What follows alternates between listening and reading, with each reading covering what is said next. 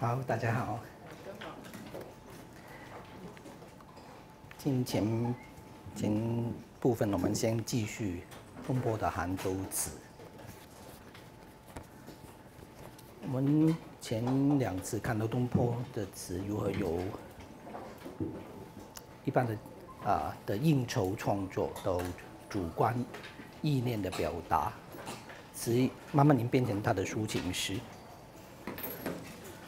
尤其是送别的课题，牵涉到人与人的互动关系。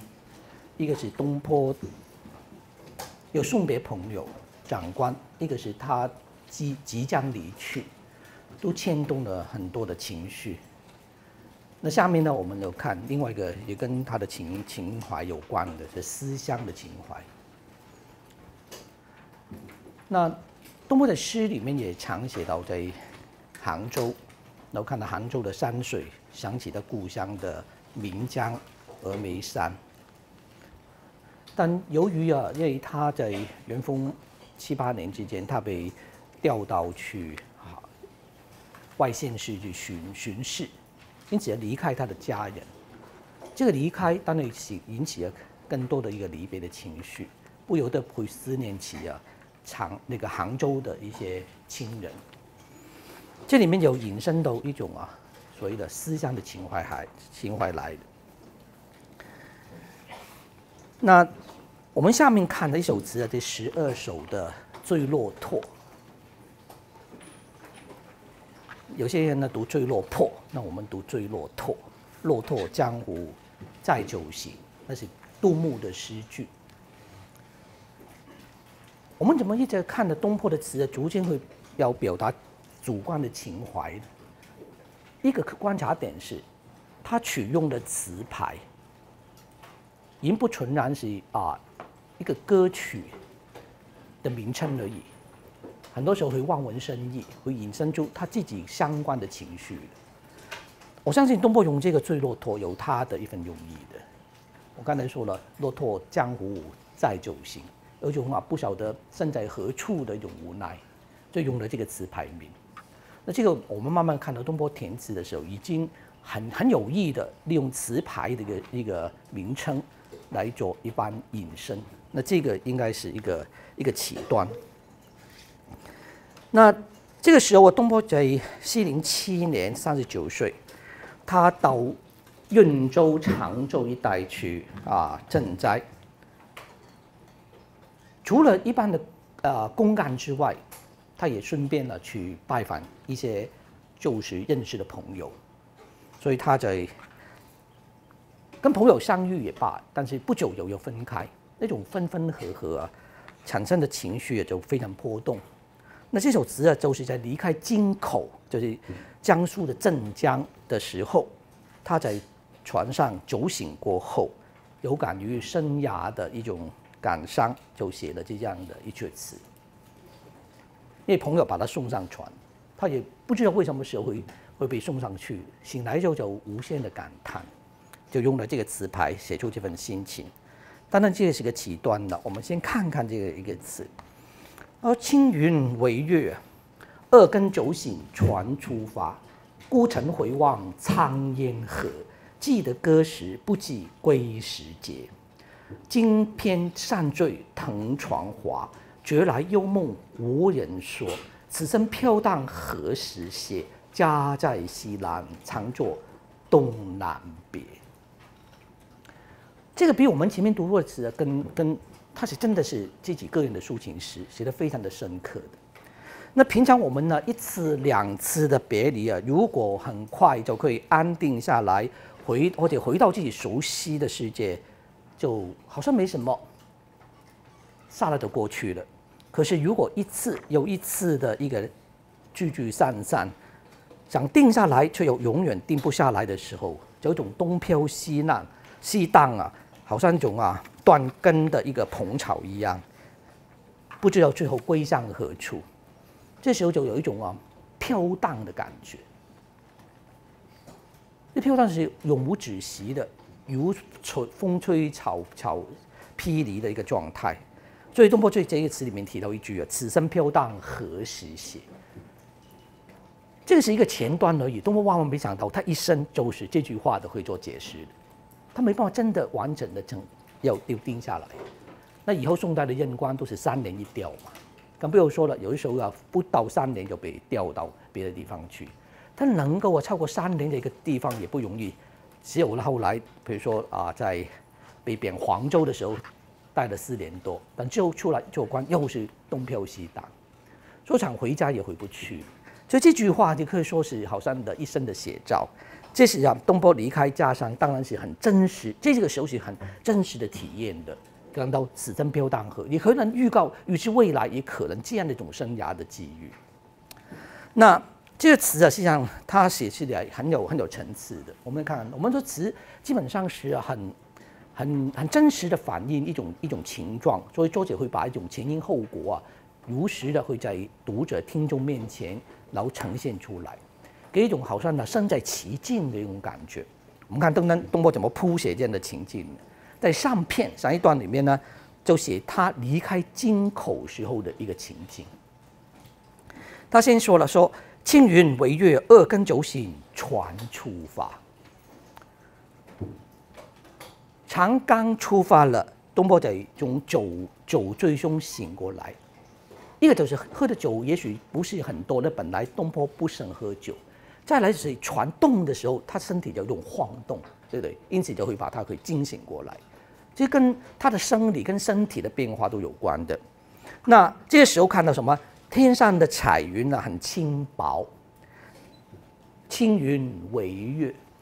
我们讲啊，中国诗歌都是这样啊。我们说景中有情，或者呢一些景语、一些情语，作者用这样的一个景色，都不是随便用的。那我们中国人说啊，啊什么浮云游子意，用云的具象代表人的离离合合。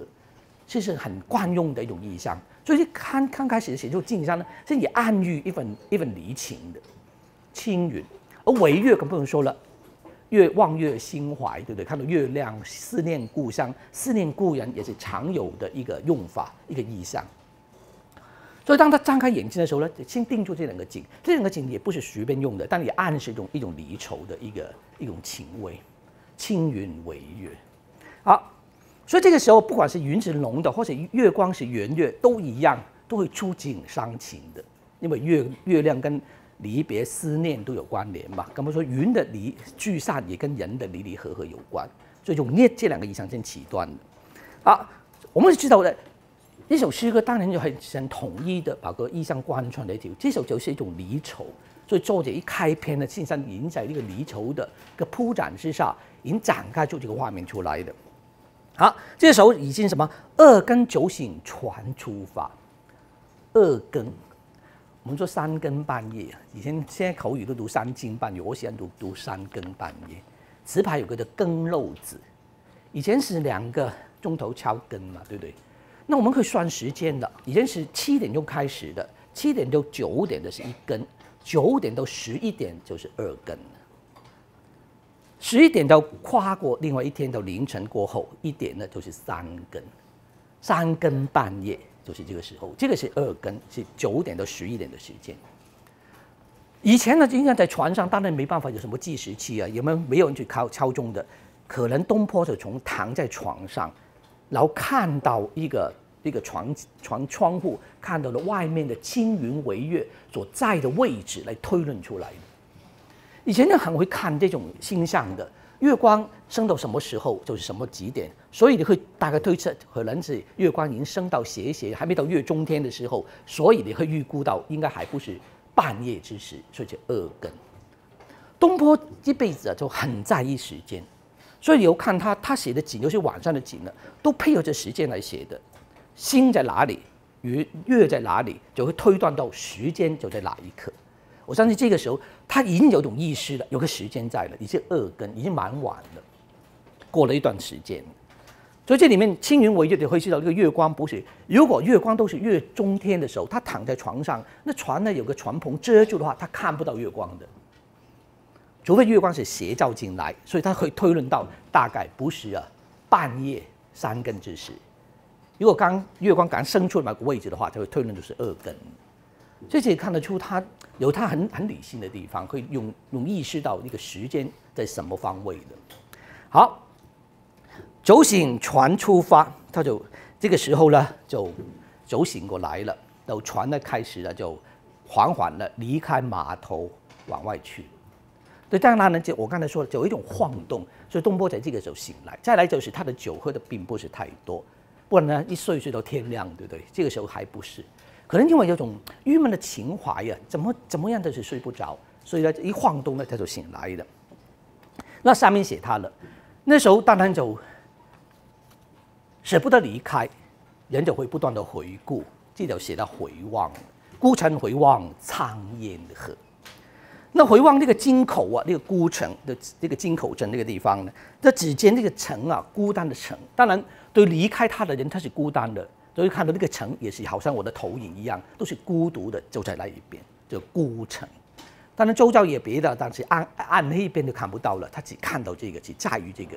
我离开了，我孤单，他也孤单的，就孤城。那孤城呢，就笼罩在呀很深浓的烟雾之中。回望苍烟河，那看的是很很暗黑的颜色，烟雾弥漫着。我们说啊，词啊会会用很多方式会铺染一种愁绪。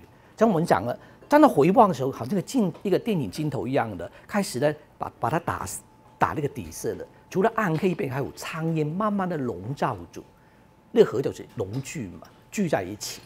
因为我的仇怨呢，都投射在那一边，充满了愁云惨雾一般。这个当然也是也是心情的一个投射。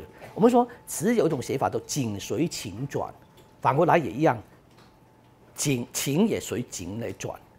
景跟情是有关关系的，因为自己心心中离别很很难过，所以感到的不时呢明亮的扩大的一片，确实非常暗黑的朦胧的暗淡的一片，这就是他心情的投射的。孤城回望苍烟河。所以这是我们说词很传情，也靠这种方式的，不断的渲染很多的一种意象，来铺垫出这种情绪的一种感受出来。那这里面前面是青烟青云，这是苍烟河。好，在这个时候呢，东坡就在有种啊，这这个时候呢，迷浓恍惚的心境呢，经过酒醒之后呢，还是一片，还是意识有点一点模糊。为什么？他上面写了，他说：“记得歌时，不记归时节。”多么的语句跌宕有序在这里面呢？比如说欲去又还不去，一种拉扯之间，它配合音乐里面的一种高低起伏的乐音，用这样的一种呢正反不一的语句呢，实际上会产生更多的一个情绪波动的一种感受的。多么很会掌握这个，不是平铺直叙。我们讲的词啊，往往因为配合音乐的话，有着高低起伏，因此我们在读词的时候，会会注意到一种情绪的一种一种转折变化。有时候低的，有时候高的，就可以如果配合着音乐的话，应该蛮好听的，整个情意的就恰到好处的。好，这里面呢，他是一片模中，他说他记得离开镇江啊这个京口之前呢，朋友饯别了，记得歌时，那大家歌唱的欢乐气氛，他是记得这个。但是呢，至于什么时候喝醉酒了，什么时候被送上船了，他却一点都记不得了，不记归时节。他只记得欢乐的那一刻，至于什么时候喝醉酒，什么时候被抬上船上来，通通都忘记了。这里面看得出他有选择性的。那这一点呢，你可以呢对照欧阳修的语句，两个就不一样了。欧阳修在《蝶恋花》里面也用过相类似的一个一个句子，他说：“宿酒醒来，不记归时节。”他是很单纯说了，当我早晚晚上的酒啊，起醒来之后走了，不记得什么时候回来了。当然，当时什么事情事情呢，都都朦胧了。然后多少中场有为说，当时呢，就是因为朦胧喝着酒，什么都讲不清楚，很多的话没说清楚，所以以后成为一生一生的遗憾的，只能望每夜了看到了朦胧的月光，思念故人而已。因为当时没办法把话说清楚。当然是一一首普通的男女离别的情词，但东坡所写的不是，是男性朋友之间的离别。不过呢，东坡写啊，这里也写最后忘归的一种情境，他也不记归时节，但东坡多了一句记得歌时，他这里什么都记不得，只单纯的比较直接。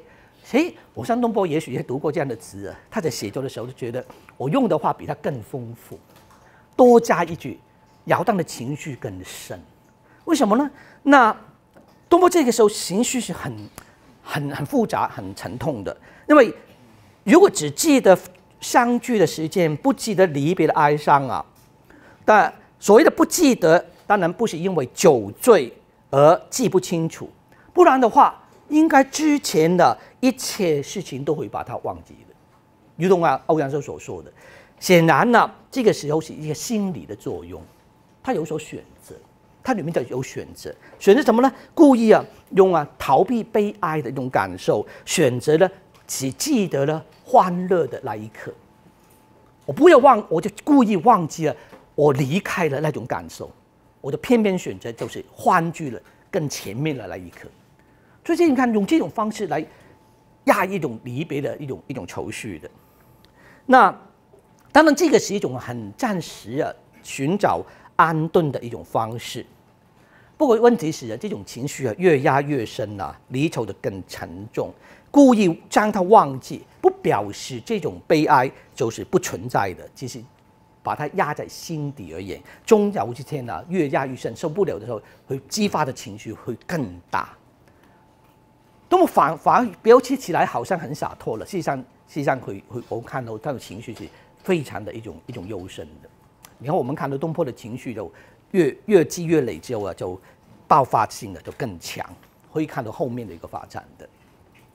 你看到东坡的一个语句，我们就不能等些哦，好像是写方案文章，故意跟他老师啊就唱啊，表达出不一样的情形。实际上，这就是情绪的他面对的态度。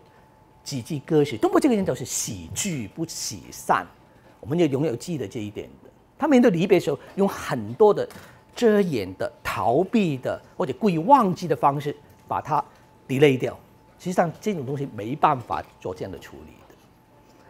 多情应笑我，早生华发，关键就是因为他多情，那是无可奈何的。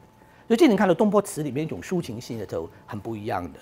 毕竟欧阳修写的是一般男女情的，未必是相关于个人的诗人。东坡所写的去真实他的感受。好了，那这种情绪怎么样去去疏解，怎么排解呢？我们不说了。下面的下篇的就继续啊，写他醒后的一种醉态。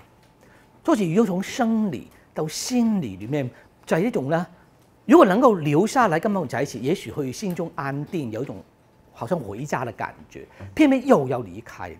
所以有一种身不由己的一种感叹，但这样说太空泛了。多么用啊，好像动作来呈现出来。我们就讲呢，词就是一种呢，让读者能够呢，透过作者的一种描绘，好像到他的情境当中感受他的感受的。你看作者怎么用呢？他上面说了“金金篇上坠藤床滑”，他显一种不安定的感觉。朋友之间在醉酒酒醉之间，也许一切都安稳。但呢，离开之后，一个人独在在床上里面，尤其船是摇摇晃晃的。所以上面呢就写他了。当然，因为这样摇晃，这趟的离别就引申出啊，所谓生涯飘荡的一种很更深的一种感伤。这是这样衍生过来的。这个我们讲到的词，就一种情感的累积推展的方式啊。如果由由远到近，由慢慢的到啊一种急促的感觉。这里他最后逼出那个最后的答案来，不是没来由的。用音乐不断不断不断的累积加强，最后把情绪啊和盘托出一样。实际现在正在中间的继续酝酿。好，他说酒醒了，酒醉啊，刚醒呢，头巾呢歪在一边。你看，你无法安稳了，连自己顾身体都顾不好，因为这种啊不清醒的情形下呢，惊惊偏。不是一个很正常的状态。平常你还可以把头发弄好，现在没办法，因为摇摇晃晃。但摇晃用身体摇晃，就有着心灵的摇晃，就有着天涯的漂泊，是一片一一串串的把它勾扣合起来的。啊，而扇子呢，就坠落在那个舱板上面的，本来抓在身上的扇子也掉下来呀。而藤床滑，人瘫在一个竹藤的床上。就无法呢控制好自己的身子了，反觉得藤床啊，好像特别的滑溜一样，整个身体都挂不住了。所以这种所谓我们都身不由己，你很难想啊，就是好像你在这艘船里面，一个时间之流中，一种很不安稳的感觉，你随时要会掉下来，你控制不了你自己的，连身体都控制不了的，更不了你的心了，对不对？一会一一缓一缓把它加强。所以作者蛮蛮生动、蛮灵巧，而且很具体的把这种啊状况给你看看。好，你知道什么的飘荡吗？这种就是飘荡的最切身的感觉。你睡不安稳的，如果一一一躺下去睡梦啊，很酣谈、酣酣畅的话，那也罢了。偏偏这时候你没办法睡稳，而且意识到自己身体挂不住。好，那个时候呢，觉来幽梦无人说。你还有一个呢，如果你睡得安稳，堕入梦乡里面，然后呢，梦中神游一番，你自己也不发觉外面什么样呢，也是一种逃避的方式。偏偏梦也睡不稳，觉来幽梦，醒觉来的一个美好的梦啊，也破灭了。人也许用同另外的逃避方式，就堕入梦乡里面去，透过一场幽梦啊。然后呢，就串了美好的一切，但偏偏这个梦也挂不住，你想逃离逃离不了，对不对？而无人说醒来还有个朋友相伴，那还有还可以不觉得孤独。偏偏的醒来之后呢，无人在身边，无人可细说。当然，纵然有人呢，你还能说吗？实上，语言也未不能够啊表达于万一的。所以，我觉得到这个情形下，使人呢，别是一般滋味在心头。在这个情形下，那种啊，在船上的无就会无端生出很深沉的孤寂之感了。加在人在床上那个船上，而摇晃那个摇摆晃动的感觉，跟出发了，就是刚才他后面所说的“此生飘荡何时歇”的一种悲凉感叹的一种一种说法了。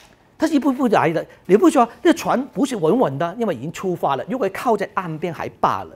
正在出发，好像水流之中不断的波动，波动之际呢，你没办法堕入你的梦乡，无法忘记了过去的美好，那怎么办？只能呢这边不断的感叹。这其实算是他非常啊，很仔细啊，模拟出这种状态，然后写出这种感情出来，所以就逼出这样的句了：此心飘荡何时歇？好了。这生呢，难道就像啊秋天的蓬草一般呢，到处飘荡？这样的漂泊生活啊，不安定的生活，什么时候才能够停止，才能结束呢？我们的时间如流水，人就好在时间里面呢，再沉再浮，不晓得最后飘把你飘到哪里去。所以东坡这首诗其实很写很写实，也有它的象征意思。我们假设这个船就是我们的生命的载体。就在这个水流呢，就代表时间之流，在时间不断的往前推动的过程中，我们根本都不知道身在何处，最后能飘到哪里去送流到这边，可能不久你就要离开了。所以这里诗里面很简单的一个离别，实际上它有很更深的、更广大的象征意思的。我们每个人的一生，何尝不同东坡这一趟旅行一样呢？偶尔跟朋友相聚，以前呢有多多快乐。参加社团啊，毕业离开之后呢，你就回到时间之流中了。你不晓得最后到哪里去。其实，在这个时候呢，每一个伴在身边，能跟他说出你的美梦吗？也说不出来，根本美梦也无法逃进、逃逃躲避进去。这些飘荡的感觉就出来。所以，这词里面我们说的，已经扩大到不是把个人的生命经验变成了普遍化的一种啊，人类共有的一种一种现象。好了。那当然，作者也就说了，为什么我这样感叹呢？这是因为他东坡累积了很多年，他不是空泛说的，如果一回也罢了，他是很多回。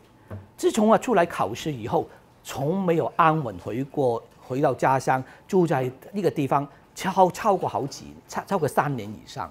在这样情形下，他难就难怪有这种感觉了。那这个时候呢，累积多年经验，在这个时候就爆发出来了。如果我们说的词。最关紧要的语句都在结尾，就是他感情的最重要的地方，里面都是不断的累积累积，到最后呢，音乐快结束了，所有情绪呢都汇聚在一起的，他感叹到这里面了。他说：“家在西南呢，常作东南别。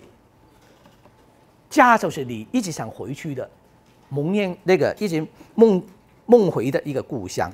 好啊，东坡是四川人，那四川在西南方。”自从离开家以后啊，他似乎啊，便就结束了一种安稳的生活了。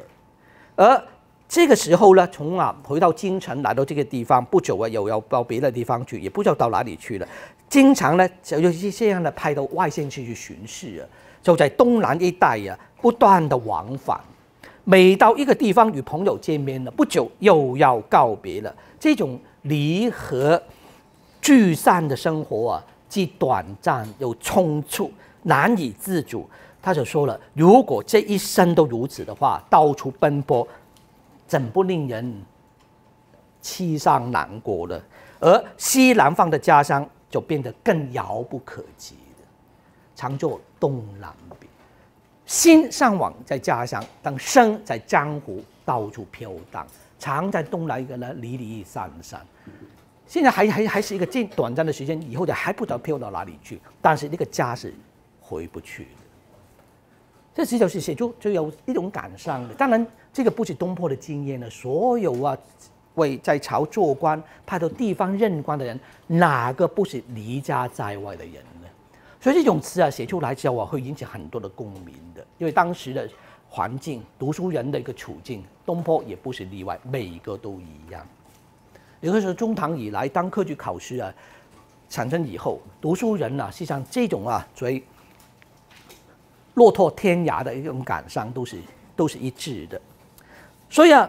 这个情形呢，对东坡来说，飘荡在外，有家归不得，而且不断的客中送客，都搞不清谁谁是主人了。那你没办法说，哎，我站我在这边呢，站官我送别你，事实上你也是一个客人，这个也不是你的家。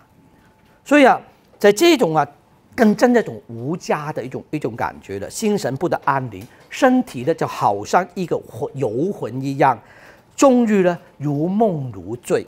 所以东坡这个词词牌是什么？叫醉骆驼，人生一个无法安稳的、如梦的，人好像喝醉酒还是你不能清醒的、如梦如醉的一种人生。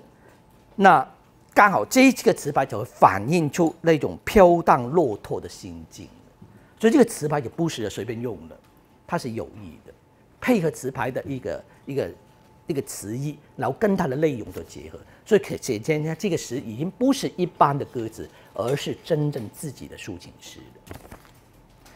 那这个词牌呀，在东坡在这个时期啊是常用的。等一下我会看到一两首都用这个。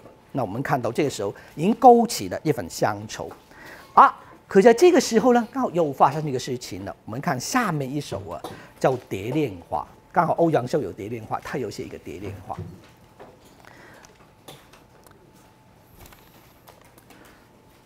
蝶恋花》的词题叫“金口得香书”，你看又是金口。那当然这些词，我们从内容里面推测，应该是前后有关联的。所以刚才是离开金口，然后呢酒醒之后有所感而写嘛。那这首词叫做京口，那时候也得到乡书，家乡来的书信。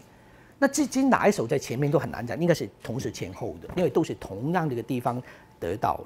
好，这时候当然得到家书啊，一番一喜，知道嗯家机里啊在家乡的人的状况。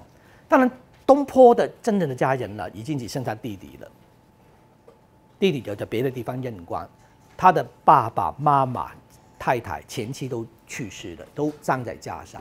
他请他的一些亲人呢来照顾他们的坟墓，但那实际上他报告家中的实况，有些亲戚还在家乡。那得到家家书，当然有的时候也蛮高兴的，就以慰思乡之苦嘛。但也会有的时候会勾起更多的情绪。你本来很想忘记的，偏偏这个家书又在刺激你了，你不得不想想起他，想起你啊曾经的一些一些遗憾，无法照顾自己家人的一种无奈。所以这个词啊，就在跟前面的那首啊“此生飘荡何时歇”在情感上是很很有关联的。好，我们看这阙词。而雨后春荣春更丽，只有离人忧恨终难洗。北固山前三面水，碧琼书涌清罗际。一纸相书来万里，问我何年真个成归际？回首送春盼一醉，东风吹破千行泪。我们前面谈曾经谈过东坡的文学的一个转变，情感的一种表达，这个是第二种第二种的泪。前面是送别的泪，那送别呀，他的长官丞相的时候，对不对？秋雨情时泪不轻，这种是一种生离生离的悲伤，离开家回不了，一种思乡的一种无奈。他们也是写到最后，也把泪水啊写出来。这在东坡文学里面，我觉得很很很重要的一环的人呢，能够勇敢面对这份情绪，也不吝于表达。中国文人都采取很多遮遮掩掩的方式的。我们看到从初唐，我们前面引用过吗？像王勃啊写诗告诉我们的“无畏在歧路，儿女共沾巾”的话，中国诗人已经缺，已经好像相约好了，以后面对离愁不能够落泪，不要学学一般的儿女一样。所以你看唐诗里面的写到相当潇洒的，像李白写“挥手之之去，萧萧斑马鸣”，或者王维了有送别了，喝杯酒就好了，对不对？西出阳关无故人，是蛮感伤，但是没有泪字在诗篇里面呈现出来。一直到宋词，慢慢这种情绪就来了。当然之前呢会落泪的只有一个啊，我们看到最痛切的就是李后主嘛。他写一首词写得蛮悲伤的，多少泪锻炼复痕你，那个泪啊真的是稀里哗啦的。我们很少看到男生啊文人会这样写，但当然对李后主来说，亡国之痛如何能够压抑得了呢？所以泪就很很容易的奔泻出来。可是回到《花间词》里面，这种泪就透过女孩子来写的比较多，男生自己写的就很少了。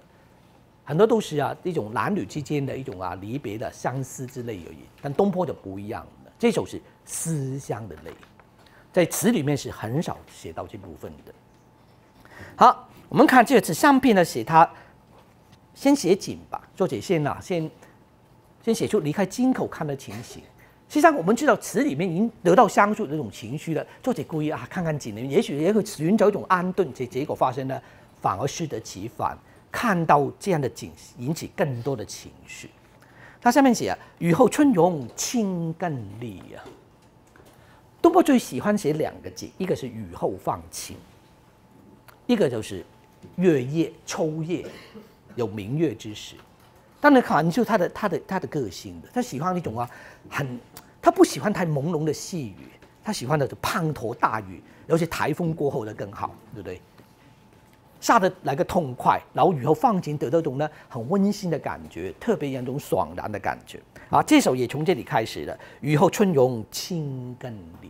好，我们先唱这个，仿佛好像写景了。我们跟前面的所谓的“金口得香书”作者作者好像呢故意不不不先讲，我们现在个景好，可以作者实际上铺垫好了，那个景引出啊一种啊仿佛的这种感觉。为什么？眼前的山水真的很像家乡的山水，但是眼前的山水呢，山水无情嘛，所以呢看起来好像是很自然的，是美好的，但人情是有变化的。啊，放雨后呢，春容春容，但是山容嘛，春色的面容的山容，山的颜色。清更丽，更加的一种啊，明亮了，更大的漂亮了。因为经过一场雨之后，但是啊，只有离人忧恨终难息。一场雨啊，可以把那些残花败叶都冲掉，然后呢，保留了更更光泽、滋润的美好的一面。但是这场雨洗不掉一个离别人的心中的忧恨。滂沱的雨有有什么用？把眼睛洗得更漂亮，但更对照出我的人的无奈。人人非草木，还是有情。只有离人又很终难息。你看，成了离人、离家在外的人。好，这种抑郁在心的，当然就这忧恨他所指的这种啊，抑郁在心的一种一种乡愁相思的恨，无法去把它冲洗掉的。怎么说？他想他想了，你看眼前的山还是一样的，北固山前三面水。东坡这个时候还是把自己的情怀呢做对照为已，没有直接写出来，还是也在景色还是依旧。但是你越看到景的话，越触动你的对家乡的思念的。北固山面山三面水，这里有座有座山呢，在江苏镇江市北方，叫北固山。北固山呢，它的南中北有山峰，都生长的水水里面去了，三面水，三面环水。呃，那水呢？想的什么？碧琼疏涌青罗髻。以前的古人呢，很喜欢用啊，用用了女孩子的发髻来比喻一个山的，就好像女孩子的一个一个愁容一样。怎么说呢？它是碧琼疏涌青罗髻。碧琼啊，是一种碧玉，碧琼的碧玉。青罗髻就是罗状的一种发髻。形容山的形色，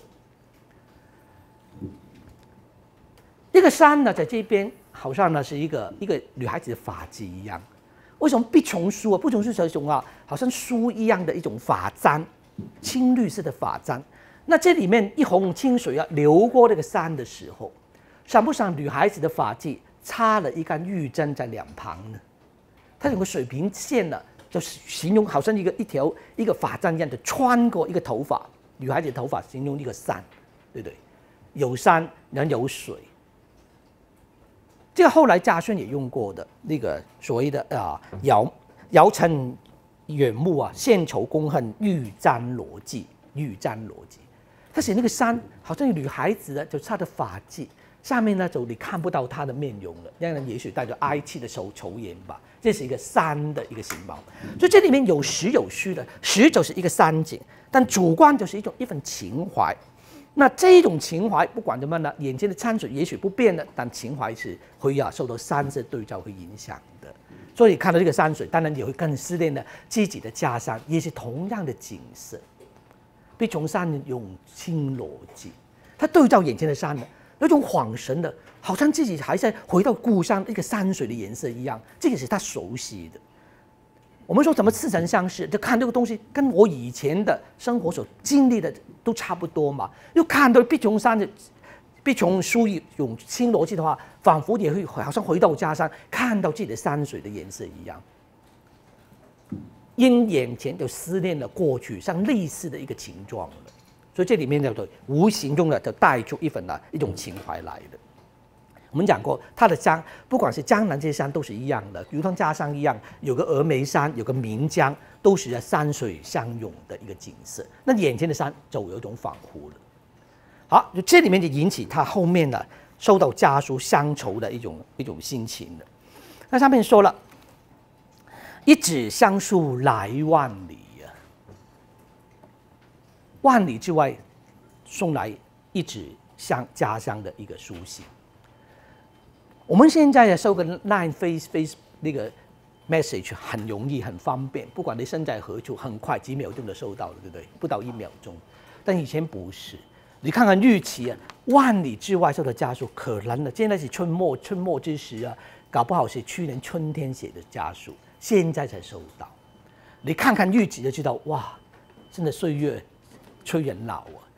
不是此时此刻已经是旧闻了，当时家家的经过几个月，不知道怎么样的情形，所以我们很难想象，受了家属既是喜悦，也感到时时空流转是飞快的。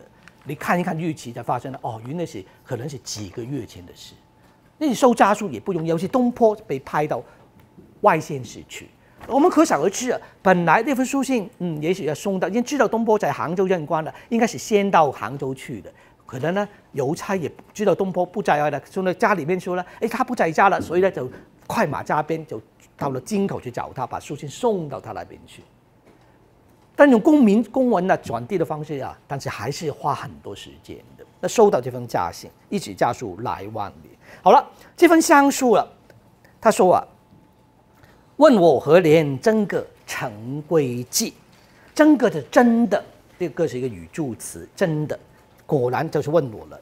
那这家书啊，当然，一方面可能呢，前面是报告了家中的状况，他家人的坟墓的一种照顾的情形，不只是啊家人的安慰的话，也好像是安慰我了，东坡里啊啊。等待他的回来，或者期待的回来，而是呢，里面还有种呢，深深的催归之意在的。问我何年真个成归计？所以归计就是归家的一个计谋打算。真的是什么时候你可以回来？我们最怕听到这个。你不问我则已，问的话真的是无奈，我也无法回答。想回答也回答不来。这是很无奈的，你点出一个时间来的。如果你说，咦，我差不多退休，你问我还好了，我们下明年我就会告诉你。但是现在才刚入仕途不久，还有很多事情也做，赚的钱也不够，怎么回去，对不对？而且也不知道怎么办。所以这句话不不不不提也罢了。一谈到这句的话，对于东坡来说啊，这就很麻烦的问题。但东坡本来已经有回家的打算，但是未来。他以前跟弟弟啊，在读书的时候，在一个生那个怀远驿里面，一起读到文英部文英部的诗，不是说过吗？临至风雨夜，父子对床眠，心中呢就就想到了，哎，能不能呢，大家相约早早早早点从官场退下来，回到家乡住在一起，可以啊夜雨对床，共听雨声，闲话家常。不过前提是功成名就，跟之前他跟杨元素所讲的一样。但是现在呢，功成名名就，以前是在理想的情形下，也许会预估你的时间，但现在经过党争之后，你就难以预料了，可能一辈子都成不了就。那如何是好？所以这个轨迹就刺痛了东坡了。人生的理想，人没人家最怕什么？不知自己定位在何处，因为你身不由己。再来，没有个定位，没有个点，就拉不出一条线，就拉不出一个方向感出来。人生有种真的飘荡无根的感觉你的未来是不可指望的。在羽泉长平岁月啊，你的好朋友都当宰相，你可以知道我什么时候会晋升，有个有个个历程。但现在呢？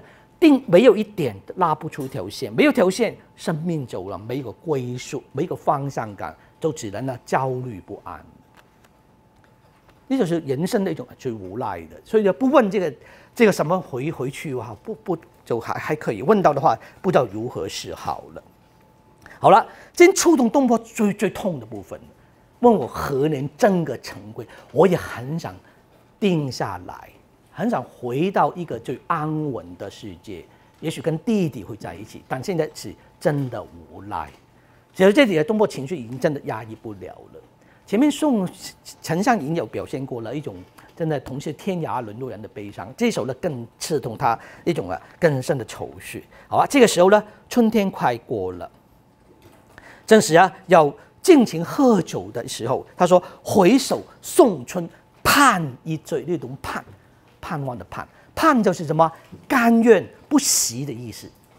我们说东坡本来很理性的，不愿意多喝酒，希望保持一种理性的状态面对人生。在面对这个时候呢，他无可奈何，就回首送春。这个送春当然有好像象征象征的意思啊，好像人生的美好如春天一样的，就此就结束了。我只能呢，甘心情愿的，不不顾一切啊，拿着酒来送别他吧，送埋葬着我的我那份理想。我过去的美好的青春，我过去的一切，回首顺春盼一醉，这种用语是非常强烈的，就是我不顾一切了，我甘心情愿，只能喝酒来把春天送走。这当然，一个春天代表一种象征意思，代表人生的那种过去曾经有过的理想。我的流金岁月随春而去，对不对？既然真的送走，含着泪水的嘛。而且那个时候呢，东风吹破千行泪。告诉了东风的春风啊，春风吹过来的时候，那个吹破有吹吹尽、吹开的意思，把我的眼本来埋藏在心中里的泪啊，都完全把它吹开、散开，泪流不止的。东风吹破千行泪，这里写的是非常的沉沉痛的。前面用啊秋雨晴时泪不停，还是用用啊比较啊借喻的方式，这首呢直接把它就借走啊。压抑不了情绪，豪情一般的把它表达出来。这在东坡文学里面，之前我们看诗里面，它还温柔敦厚一些；词因为它配合音乐，比较动情的一种文类。前面写的还是呢，不像这一首那么样的直接。东坡最破千啊，而且结尾就是一个泪，对不对？我们说愁啊、泪啊、悲啊，愿常常都是词的最后的一个一个用语嘛。这里就写出他无可奈何的一个表达情绪的方式。那这个当然也无可奈何，只能在这这这偶偶一的这个机会来发泄。但之后还是要努力成功，但情绪一直掩藏着，随时都会有经由不同的状况会表达出来。所以东坡在这个时候词啊，已经成为一种啊很贴合他抒情的文体，不时啊就可以借助它来表达他很多的悲欢离合的情绪的。那这个在东坡文学里面是一个新的纪元了，它是。能够用文体很真实的表达他的感情，他不吝于表达，而词比诗呢更加的直接。我们看到的泪比诗的表达会更明白的。那这个是我们就补充了前面杭州词的一个部分，东坡如何由客观书写变成了主子主观的抒情诗，然后呢结结到东坡泪的一种表现。那下面呢，东坡就我们谈到了东坡。在三年过后，他就有机会可以离开杭州，调到别的地方去。但我们一直要注意啊，东坡这个时候还不是被贬官，他是正常的轮调调官而已。宋代本来是这样的，你要在京城里面担任大官，你必须有地方的历练。而且宋代的基本上呢，把你送到外县市去，平均呢应该是最起码三年有一调，不能超过三年的。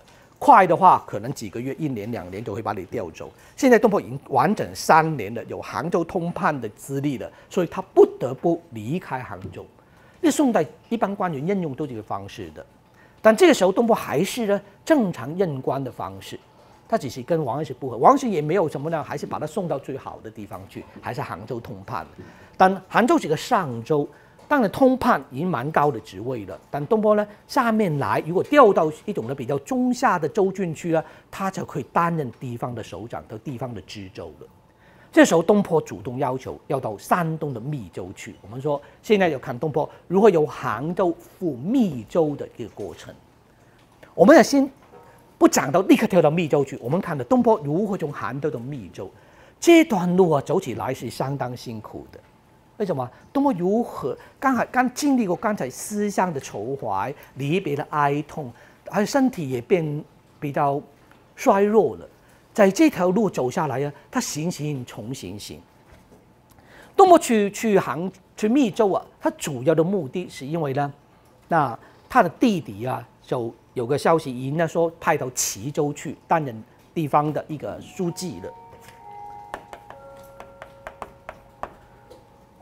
东坡一一厢情愿的认为，嗯，我到了密州去山东去，就可以啊，跟弟弟比较接近，啊，平常公余啊就可以请个假，从密州到附近的旁边的齐州去，并不难，对不对？就会跟弟弟见面，他是抱着这份心去的。那如果照照理由，跟弟弟三年不见了，从密州，从从杭州的密州，应该是再兴再奔，很快飞快要跑过去的，对不对？等他跟他弟弟一起去过年啊，什么之类的，或者他的生日也在年底嘛。东坡在十二月十九号出生，但是东坡很奇怪，从杭州的密州，他没立刻去，居然徘徊了一百多天。从秋秋冬啊，一直到春春啊，到冬末，他都还没有到到密州去，不晓得他想些什么。东坡确实呢，离开杭州呢。去了常州、苏州、楚州、润州这一带，不断的去找朋友聊天，然后呢，不断的流连不返的感觉。但增加更多的离别情绪，因为这些朋友啊，很多都跟东坡差不多，三年前调到这个地方来，他们也个别要离开原先的州郡到别的地方去。事实上，一种客松送客的悲悲戚悲戚感会更重的。那我只猜想，东坡在这个地方，也许啊。他真的，一方面想跟弟弟在密州、在齐州见面，一方面他对于出任地方的职务还是有点、有点惶恐的，因为他也知道密州的状况。我们说啊，东坡早期任官呢，老百姓很欢迎东坡来，觉得啊大文豪来到都很欢迎。但东坡实际上呢，如果你是当地老朋老朋友，一一个老百姓，就多加考虑。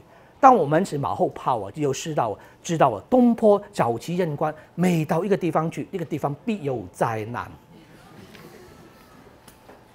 但东坡不是不知道的，密州本来他来杭州不久的有旱灾蝗虫，那当然他也知道杭那个蝗虫从哪里来，是从山东那边来的。他现在是。深入虎穴去怎么办？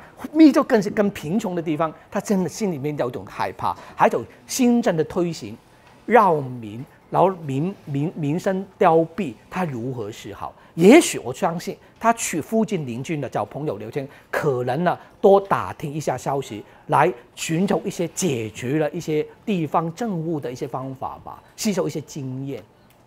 也许吧，我不知道，东坡没有很多说了。所以在这段徘徊的这个路中呢，就很久了。那我们注注意到是这段流利的，东坡就从三十八九岁开始，东坡离开啊杭州去外县去去巡巡查的时候，身体啊一度是变坏的。那加上很快马不停蹄要往山东去了。事实上，在旅途里面呢，东坡的文在词里面尤其在词充满那种老病之感了。老病之叹。等一下，我们看到东坡词里面呢，很多写他自己老了，还没到四十岁，才三十九岁的东坡，已经呢常常挂在口中，都自己老了，而且身体也不不行了，老病之感特别深。但这里面除了身体的原因，还有心理的问题的。那现在麻烦来了，东坡既认老且病，他怎么用这种仇怨仇言去面对他的弟弟呢？难道他弟弟不担心看到弟弟弟弟看不担心弟弟看到他自己会难过吗？所以东坡必须在里面呢要做调整自己的。等一下我们看到东坡在这个过程中里面的一种啊，既是表达这种老兵的，一方面呢在面对弟弟啊见面之前，他如何调整自己的心情，希望给弟弟看到更好一点的自我。那顺便还一提的时候，东坡一辈子啊，实际上呢，他写诗的量。还是是最多的，在所有的文学作品的写作数目上，纵然是乌台诗案因诗而惹祸，东坡还是呢诗没有停止写作过。纵然是被贬黄州了，因为一乌台诗案，东坡还是继续写他的诗，量还是在词之上。但是呢，只有一个时期，东坡的词是多过他的诗的，词是抒情，而且是写出悲伤的情怀的，就是这个时期的。这那么多天，这几个月里面呢，东坡是很难得，他的词的写作的量多过他的诗，而写的如果都是老兵这个，可像这种已经变成他的主体表达情怀的一种文体了。那我们很值得注意的，等一下我们再看看东坡这个时期的作品所呈现出来的面貌，好不好？先休息一下。我们看过东坡杭州词，嗯，也看到东坡从写过不同的题材。当然，总而言之的一个抒情的特质，应该月略都知道一个梗概。只有它应用的一面，比如说在歌言酒食之间去表达某一种欢乐啊、悲伤的情绪。但在东坡写作之后，更强化的他的抒情性，如诗一样的是可以抒发出。更深刻的个人情怀。当然，前面我们看到送别跟思乡是两个很关紧要的一个题材。那下面呢，我们就看东坡由杭州到密州这个过程中的一个一个心境。因为东坡也不是完全在荒郊野外，然后啊就直接就奔赴了去密州，他还是呢。啊，到邻近的州郡去找寻一些朋友，有相聚就有相离，也面对了很多的离合悲欢之事。因为他的词的抒情性还依旧保持着，前面有歌旅啊、乡镇，当然有它的应用的一种特色。那如果把两者结为一体呢？当然东坡词里面已经是驾轻就熟了。那东坡就不吝于在词里面呢，表达出不是一般逢场作兴呢啊一种应酬的话语。跟在这种的客观的一种场合中呢，注入更多的抒情的一种特质，两个就混为一体。上面我们看到很多这样的一种一种词片的。那下面呢，请大家翻开呀课本的五十九页，我们先看一首，也是《醉骆驼》。现在杭州啊，这个词调在当时应该是蛮蛮流行的，东坡就顺手拈来就拿来写作。那下面这首呢，他就来到苏州，那苏杭一带都应该是相通的，他同样也用用了这个词牌，但这首啊，不像刚才那一首啊，写出自己离别的时候个人的那种感思，这首是一个场合之间呢，他酬赠给这些歌女的一个作品。三十九首的《醉骆驼》，那词牌词的题目是苏州昌门留别。多么再访啊苏州，然后呢就有歌女来送行，然后他就填了那个词来啊以相赠别。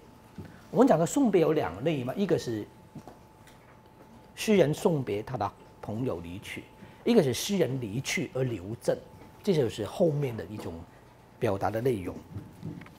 我们看这一首啊，说苍颜画法，故山归迹何时绝？旧交新贵应书绝，唯有家案。应该是不是这一首？因为三十八，我念到后面那一首。他说：“一年三过苏啊，最后赴密州时啊，有问这回来不来？其色凄然。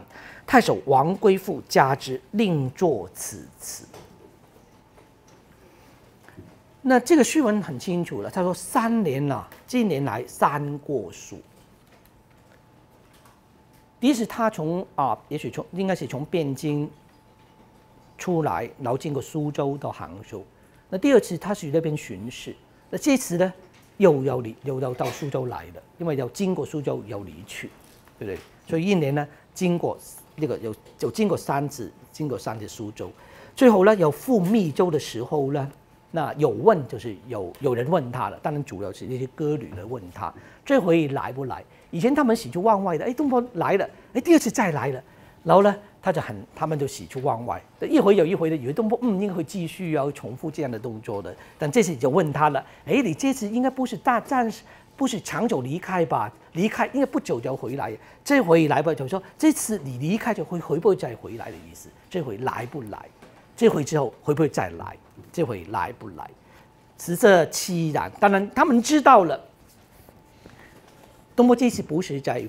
附近呢任官，他就调到东北去，所以大家都就钟南池问他，期待他，好像前两次一样，都不断的离去再回来。但这次呢，知道钟南跟他要求，希望他如是，但知知道答案未必如他们所愿的，所以呢，难免有一种感伤，所以啊，其色凄然。那当时的太守呢，王归父。苏州的知州王贵妇呢，加之就赞美这个这些女孩子，觉得她说出大家都期待东坡来的那份心愿了，因此呢，就另作词，希望东坡嗯把这个留下一个记录吧，他填那个词啊，把这本新衣啊把它留下来。东坡就当然奉命就写这个词了。我们说了，词本来就有应用性，等一般的应用性随便马马虎虎就写就了，但东坡不是，他真的动与记一份真情的，那他毕竟啊。跟这些人物啊有些关关系，而且呢是是这样写，他说：“一年三度过苏台，青春常事开。家人相问苦相猜，这回来不来？情未尽，老先催。人生真可害，他年桃李阿谁在？牛郎双鬓衰。”你看这两个词里面都多了一些元素了，一个是老先催。因为后面的双鬓衰，因为刘郎当然借刘禹锡来暗喻他自己，头发都变白。这时候，我们我们如果考考证呢，这个年年份呢，东坡这年才三十九岁，可因离别那种感伤、催促人老的一个意识呢，越来越重。所以我们看到东坡的一个一个背负的心情，看到突然之间见老大了。古人呢，四十年老时，人之常情。因为呢，过去的人呢，寿命都不长。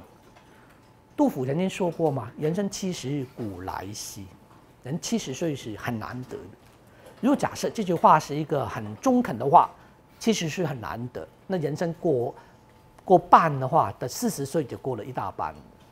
所以难怪对中国文人来说呢，四十年老是常态。很多人差不多四十岁了，只有呢几根白头发出来，都觉得自己老了。那我们从以前来来讲的话，卫生条件不好，生理的一个状况不如现在那么佳的情形下，到处奔波劳碌，吃住不安的情形下，能过四十五十已经真的也不容易了。我们没办法的做一个普普遍调查，在我读文学史里面呢，都就稍稍的一一些一些了解，在魏晋南北朝啊，你看看很多诗人呢，大概都三四十岁的。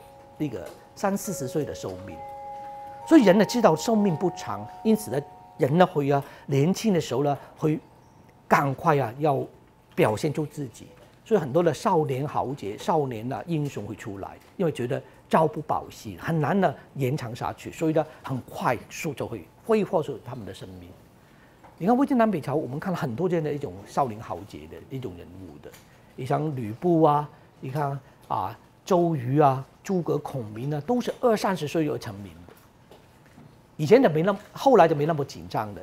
到了宋唐代的时候呢，很多的文人呢，你看李白、杜甫啊，年寿大概都五十多岁，几乎就比魏晋南北朝就长了一些的。因为当时啊，就没有那么动荡，天下统一了，对不对？就有五十多岁的一个寿命，所以难怪杜甫会说啊：“人生七十古来稀。”过七十岁啊，真的不容易。贺知章啊，能够过七十多岁，能够少少离大老到会，真是很例很例外的。那到了宋代呢？宋代呢，我们看那些熟悉的文人，大部分呢都寿命都可以到六十多岁，六五到六七之间。陈东坡有六十六岁，而六六的人是非常多的。可是呢，你看看那个年龄还是到六十多岁，不像现在我们的寿命可以八十多岁的平均寿命，以前没那么长久。所以啊，到了四十、三十九、四十间会延老是常常见的一个情形。东坡比较早一点的，三十九岁开始觉得自己已经老老不堪用了，但有一种自己功名啊难就，而且呢。一种很失意的感觉，跟刚这样背负着很多跟兄弟离别一种啊一种哀伤的情绪，会更增加一种啊岁月催人老的一种意识，还加上就是什么？如果他春天在路路途上也罢了，他偏好是秋冬之间，一年将近之时，一种潇洒的景象会刺激他的心情的，所以我们要有考虑到，就是在在这样游历的时候是在秋冬以后的，因此呢，就他也。十二月十九号出生嘛，对不对？一年将近了，所以那种啊，时间飞快过去的意识会特别的沉重，也跟那个时令有关。好，我们先看这个词，他说“一年三度过苏台”呀，他就重复这一句了。好，我们要一年有三次的经过苏州的一个姑苏台，以这个来押韵。那来到这个地方呢，这里的太守、歌女呢都很欢迎东坡，所以啊，清尊常侍开。尊着酒樽嘛，酒杯，常常的打开酒来喝了，对不对？尝试开，开怀也畅饮，但是蛮好的，因为东坡，嗯，毕竟难得相遇了，但这次也来到这边，当然他们也会要开酒给你喝了，但是呢，这一次不一样的，东坡来这次在经过苏州，可能是要跟这些老朋友告别的，他也不知道以后能不能再来江南了，所以呢，来这一趟呢是顺路拜访他们。而这个时候，难怪家人相问苦相猜。这些认识的歌女啊，就一直问东坡了。苦的是呢，一种我们说加重语气，那苦不是悲苦了，就是呢，不断不断的极端的去探问了，一起自己呢很那认真的不断的去啊去逼问我了，在猜测我这回来不来，就是这回离去会不会再来。一直猜我了，但是希他们是把他们的期待呀，都虽然呢用过去的经验来类推，哎，没有那么容易的。以前都没想到你来了，就再来一次又一次的，那这次应该不会那么快一走了之不回来吧？所以就猜测你这次离去就会不会再来的。当然，王家父这位太守很期盼能够再见东坡啊，所以他觉得这个家人说出大家共同的话语了，都很想跟东坡重逢。但东坡后面呢，告诉他们。那么也不能自己啊做白日梦的，然后呢跟跟大家呢就给那个啊虚幻的答案。他说情未尽，当然跟他们呢，我不能再离去就无无就离留就不留情分了。我们的情没有没法没办法再继续，代表我们的情还依旧在的。但是呢，有个东西没办法逃逃避的是老伤催老先催，但是人的岁月是催人老啊。生理跟心理是相逆的，不相不是一一一体的。老都来了，不断可能不在人世，但是情分还依旧在，彼此会思念。但是我们还是没办法管好我们的身体，我们人会老去，老去又也许不在人世，情分会依旧在。那那是两个不同啊，不能相相提并论的东西。所以他才比较起来，他说人生真可害。为了押韵呢，他就不不是用可笑了，可笑就是可。可嗨，可那个嗨就是笑的意思。那楚辞用过这个，那我觉得东坡是有意的，因为这里也都是可能是苏州姑娘。那苏州啊，以前都是楚国啊，就古楚古楚之地，所以东坡用了他们呐可能认识的一种语言来互相相慰吧。所以用不用一个笑来啊，用个嗨来，哎，大家会比较能够啊知道他们用意的。那以前楚人呢说相调笑就叫嗨，人生真可嗨。用我们白话就是人生真可笑啊，对不对？为什么没办法把情啊，然后跟呢人的寿命一起都可以啊同行并进，情不尽，老也不会到来，那多好，那永远都会有有一种啊身心的一种快慰嘛。偏偏相反而行，就没办法了，让我们得到这样的欢乐的。好，他的推测的，他连桃李啊，阿谁在？牛郎双鬓。他用个典故是刘禹锡啊，刘禹锡曾经担任个地方的那个屯田员外郎，后来呢左迁了到了兰州当司马，十年之后再回到京城。回到京城的时候，他重游这个玄都观。十年前这地方没有没有桃花的，十年后呢，哎，看到了桃花盛开。他在写一首首诗啊，就写这种啊，看到玄都观里面呢，啊，桃关里桃千树啊，尽是刘郎去后在，一种惊喜对照之感呢，特别的强烈的。十年前是一个光景，十年后又不一样的。那这里啊，东坡用的就化用刘禹锡，不晓得能不能再回来。假设哎，这个地方如刘禹锡重回故都一样，我来再来苏州看到你们会怎么样呢？他连桃李阿谁在？也许啊，这里面不少谁啊种了很多桃花李花在这边，也许真的会有改变的。不过，都经多少年后啊，刘郎双病又等到十年后，刘郎带着双病回来，才跟他们再见到面。那一一言下之意就是啊，如果带着我回回来的时候，恐怕都十年以上，人都老了。但老先吹已经不是一个事，就是说再再重逢已经不是那么容易的事，因为呢，我们讲过，宋代基本上很少拍到一个人呢同样去一个地方任官的。不过当然，东坡万万没想到之后他有机会再来到杭州的，那引起很多年后的事情，年后的事。那这里面写这种呢，现在已经感到人生老先吹了，想到能重逢，也许啊人的双鬓已衰之时，所以里面这种。我们说词的意境的最后是看收篇的，对不对？我们看到前面东坡的词一直一路走来，不是累做结尾，这首呢以双鬓衰来结尾，整个是往下低沉的，无法正扬起来。这是看看出了离愁别绪或者对时光的感叹呢，如何影响他的心理，在词的意境上面呢，有所都跟一般的情词一样，没办法挣脱出来。但是，这里面我们看到逐渐有变化的，像后面我们看的这个端倪的。好，成了这个，下面还有一首《醉骆驼》，在三十九首，在五十九页，我们再看看这首词。那当然，我们会把这首词组合起来，很快速看过之后，我们就更能够了解到那种老兵之感，不是一句空话而已了。它的确是不断不断的发生的。东坡一直一直意识到这一点。那这首也是啊，在苏州啊，昌门留别。他真的要离开了。刚才还在聚会上，现在离开那个昌吕门，要离开苏州了。他也留下了这样的词来赠给他的朋友。你看这里要更清楚了。他说：“苍颜画法，孤山归迹何时绝？旧交新贵应书绝，唯有佳人犹作殷勤别。离亭欲去歌声夜，潇潇细雨凉吹夹。”泪珠不用罗金意，弹在罗衫，徒得见识说。用同样的词牌，然后再唱出一种啊离别的一种一种深情。那从首先两句啊，先从自己的容颜、形貌、心境去入笔而写出来的苍颜画法。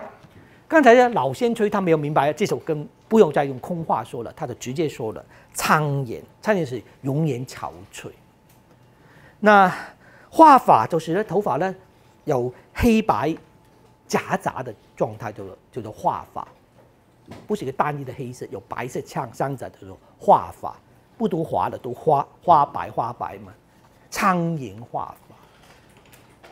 我们说词啊，就会给我们很很真实的感觉。都不用形貌直接给你看到，我真的是老了，不是不是假的。你看看，容颜憔悴，头发呢黑白交杂，苍颜画法。在这情形下说，故山归迹何时节？刚刚说了，他前面不是有有家书问他何时正过成归迹吗？他现在也在也重新的复述这一句，在这样人都老了最好的时候。回家去嘛，安顿下来。但是偏偏呢，那个家回不去。孤山归寂何时何时绝？所以呢什么时候才能拿定回家的那个主意呢？什么才能决定我真的回家了？其实他他很想停顿下来，不要随着岁月迁偏迁，人呢逐渐变老了，老早回到他属于他自己的家乡多好。但是问题是，他拿不定主意，无法做真的决定。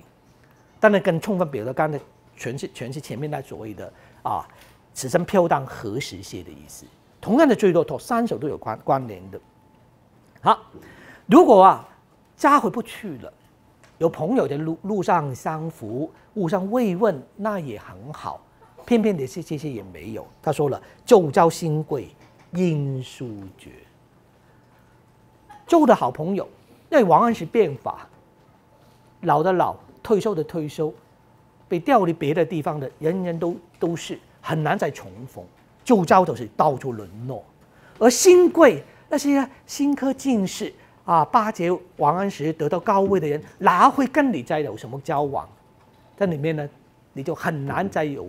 跟朋友或者呢新交的人呢，有什么人的往来的？就是说旧交新贵因书绝，在人生的旅途上，就更显得自己孤寂的。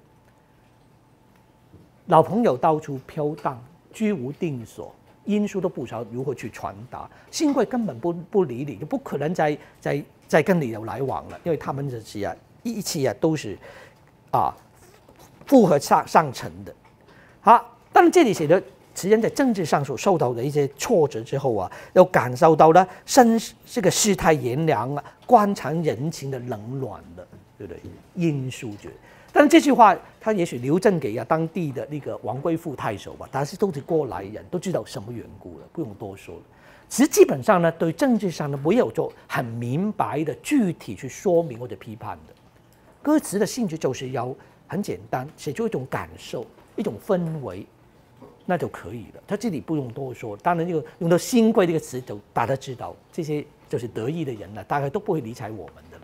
你想要求援或者要啊跟他谈谈的地方的政务啊，也他们根本也会回绝你，因为这些路就不通，所以的人情冷暖呐，就自然就更更增加知道了。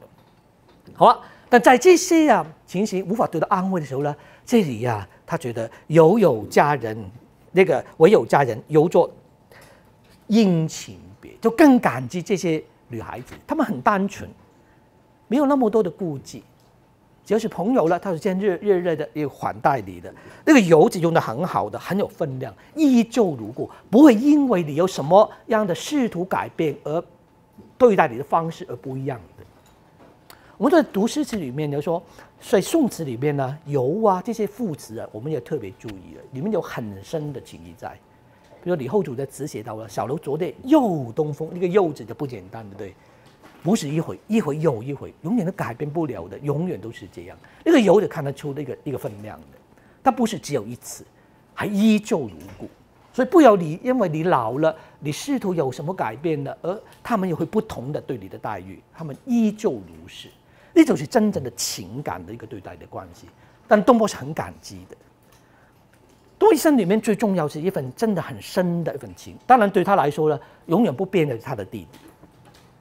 他可以这样可以说，他他弟弟永远会相信他，他也相信他弟弟。而且人生仕途上里面呢，能得这样的知己也不容易。这些女孩子就单纯的多了，对不对？不像那些旧交新贵，尤其是新贵。好，这里用词我们体重体验了家人呢，就不以人情冷暖的来对待人的那种比较醇厚的一种品格。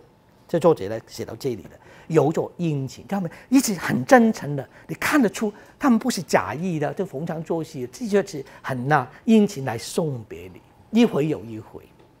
好，当然作者相这种情感是互相的，不是只有单方的，所以下面呢作者写的彼此之间的交往之间的那种离别的情形，我们讲呢。那些刚刚刚写到殷勤别的时候都很空泛，他的如何殷勤别啊？当然就有具体的动作写出来。我们讲过，当时的词啊，会把很多的动作、背景、道具都能写出来，实际上有它的一个作用的，使得歌女拿着歌词来唱的时候有所依据，甚至可以把它当个小脚本一样的去做演出的。他的殷勤别，他怎么做呢？没办法，好像只啊，只能是拉着你啊啊，依依不舍也不够了。你看下面就来了，很具体写出来。他说：“啊，在什么地方呢？离亭，离别的亭子。以前呢，五里一短亭，十里一长亭嘛，对不对？就是离别的一些驿站亭子。离亭当然就是他们的殷勤就看得出来了，在离别的亭子里面，那种依依不舍的状况都清楚了，一个有场合的。所以这个词，我相信呢，在留别的时候，可能呢，这个当下东部就写下来，就在当下表演的，就在离亭。离亭就是你现在在的地方，所以你有一种。”真在其中的历历在目的一个情况的，而欲去歌声也，年轻的女孩子怎么殷勤呢？当你快要走的时候，她们就是差不多要要哭出来的，歌声哽咽不已。这这这种殷勤的，如果他们啊，其实啊，请他们来唱个歌来送别，他们可能呢都不动声色，反正都是都根本呢都不会表出真正的情感的。但天也都不听出他们真的有真情去流露表达出来的。所以你看看，听到他们的歌声的惨烈不已啊，这是鉴别时候那些热情的歌女的那种状况，它是有针对性，真的是面对东坡流露出他们的真情的歌声夜。而这个时候呢，潇潇细雨凉吹夹，脸颊里面呢刚好配合大自然，好像我们讲到了。景随情转，不是吗？你看，增加气氛了。东坡不是风和日丽啊，加上天地都不忍，天地都不忍心的看到人里边下起俩雨来，吹到女孩子脸颊来的，没有感到出一种氛围，一种悲伤的情绪的。词首是要有渲染、扩散一种情绪。那歌词不是一对一，是一群人之间的，所以呢，写到这里的时候呢，当你唱到这里的时候呢，当地当下的人呢，都都觉得仿佛走在一个悲悲郁的情况之中，好像都深受感染了。所以这里有有初始的情感抒发的作用的，每个人都一样，不是只有一个人跟一个人之间而已。你看大自然都跟着的，都落泪了。你看风吹凉雨，吹到脸颊来，对不对？都不一样吗？好，多么就说了。他不，当然多么也压抑不了情绪，当然有有希望能够能够处理的更好，希望把情绪更延延伸，不要只有单效益。他说泪珠不用罗巾易，易就是有把把它弄湿。罗巾易就是为什么罗巾会易啊？因为你用擦干眼泪，泪的就沾湿了一个罗巾嘛。那个易有弄弄湿的意思的，那弄是因为你擦眼泪，把泪水呢就。滴落在罗巾上面，所以呢，他吩咐了你不要落泪了，不要把你你的啊罗巾呢都都用它来擦拭，泪水呢都沾满你的你的那个罗巾。现在他们什么呢？他用啊不用罗巾，要弹在罗衫，干脆的就把泪水呢挥洒在飞弹在你的罗衫上面。为什么？你要尽情哭吧，不要罗擦擦干净、洗干净就不见了，对不对？就沾嘴把泪水呢，不要用用你的手巾把它擦掉，擦掉的话，可能罗巾就不知道飘到哪里去，这洗干净就没有了。就挥洒在衣服上面干嘛？图的见识所，图的图谋考虑，为希望呢，希望能够呢，弹落在衣襟上面，为的是重逢之意啊，还可以呢，在你的衣上的泪痕里面做个凭证。然后知道境遇啊，我们多么的依依不舍。如果能再见面看到罗山的话，就作为我们以后能够了啊，说再续金玉情谊里面最好的一种方式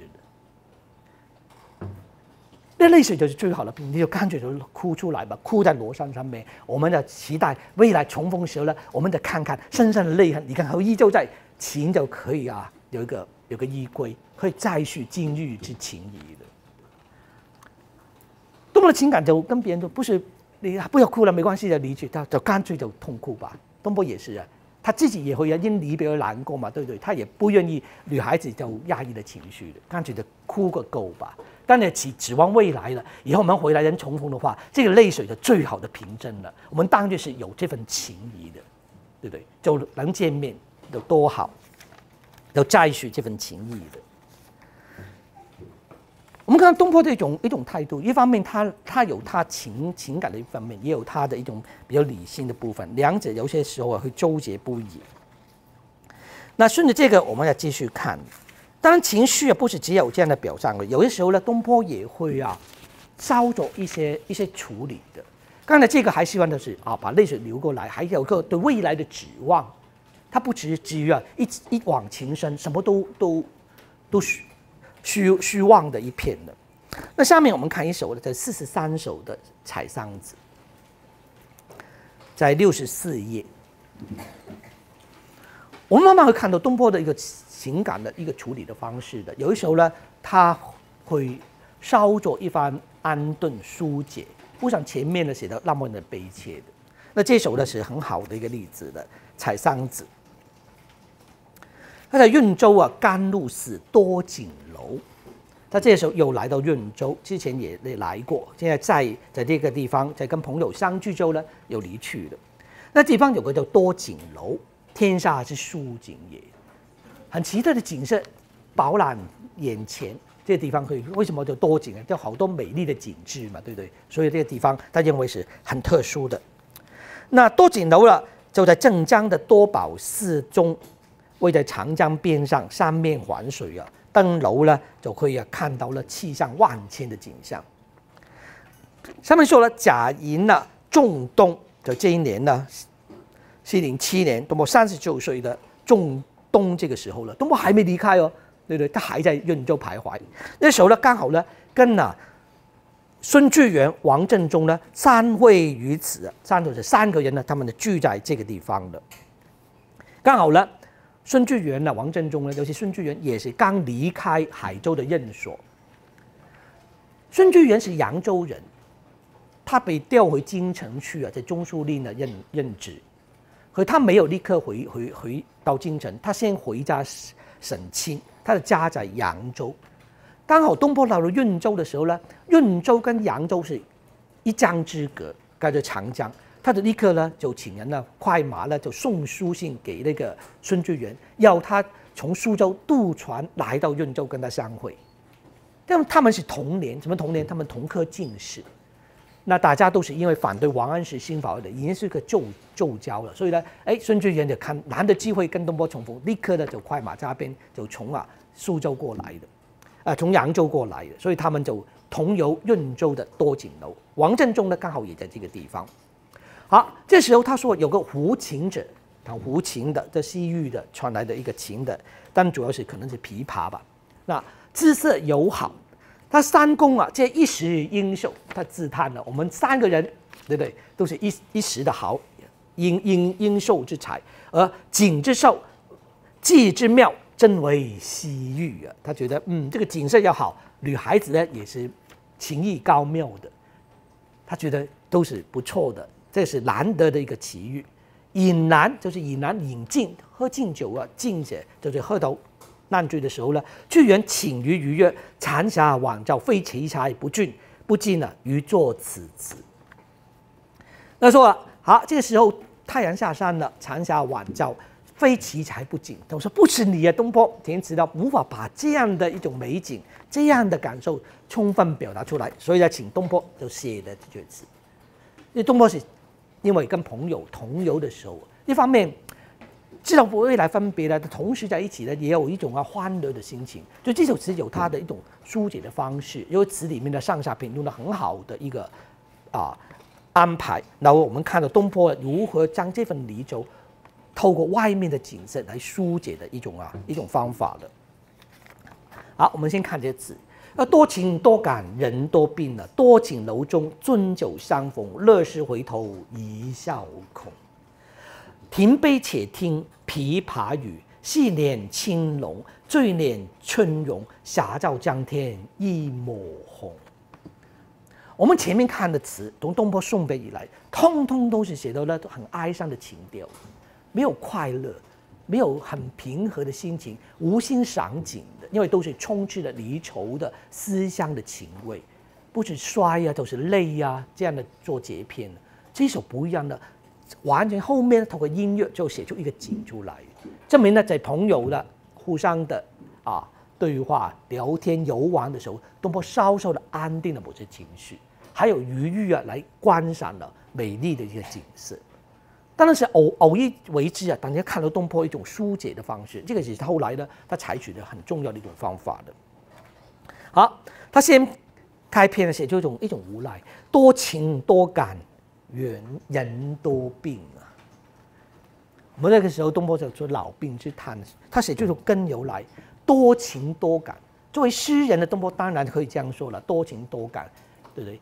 以前唐人也说嘛：“有情天地泪，多感是诗人啊。”诗人会特别的多情感，但是啊，人多病，还是很多病。所以，他多病的根由是什么？谁要你多情多感？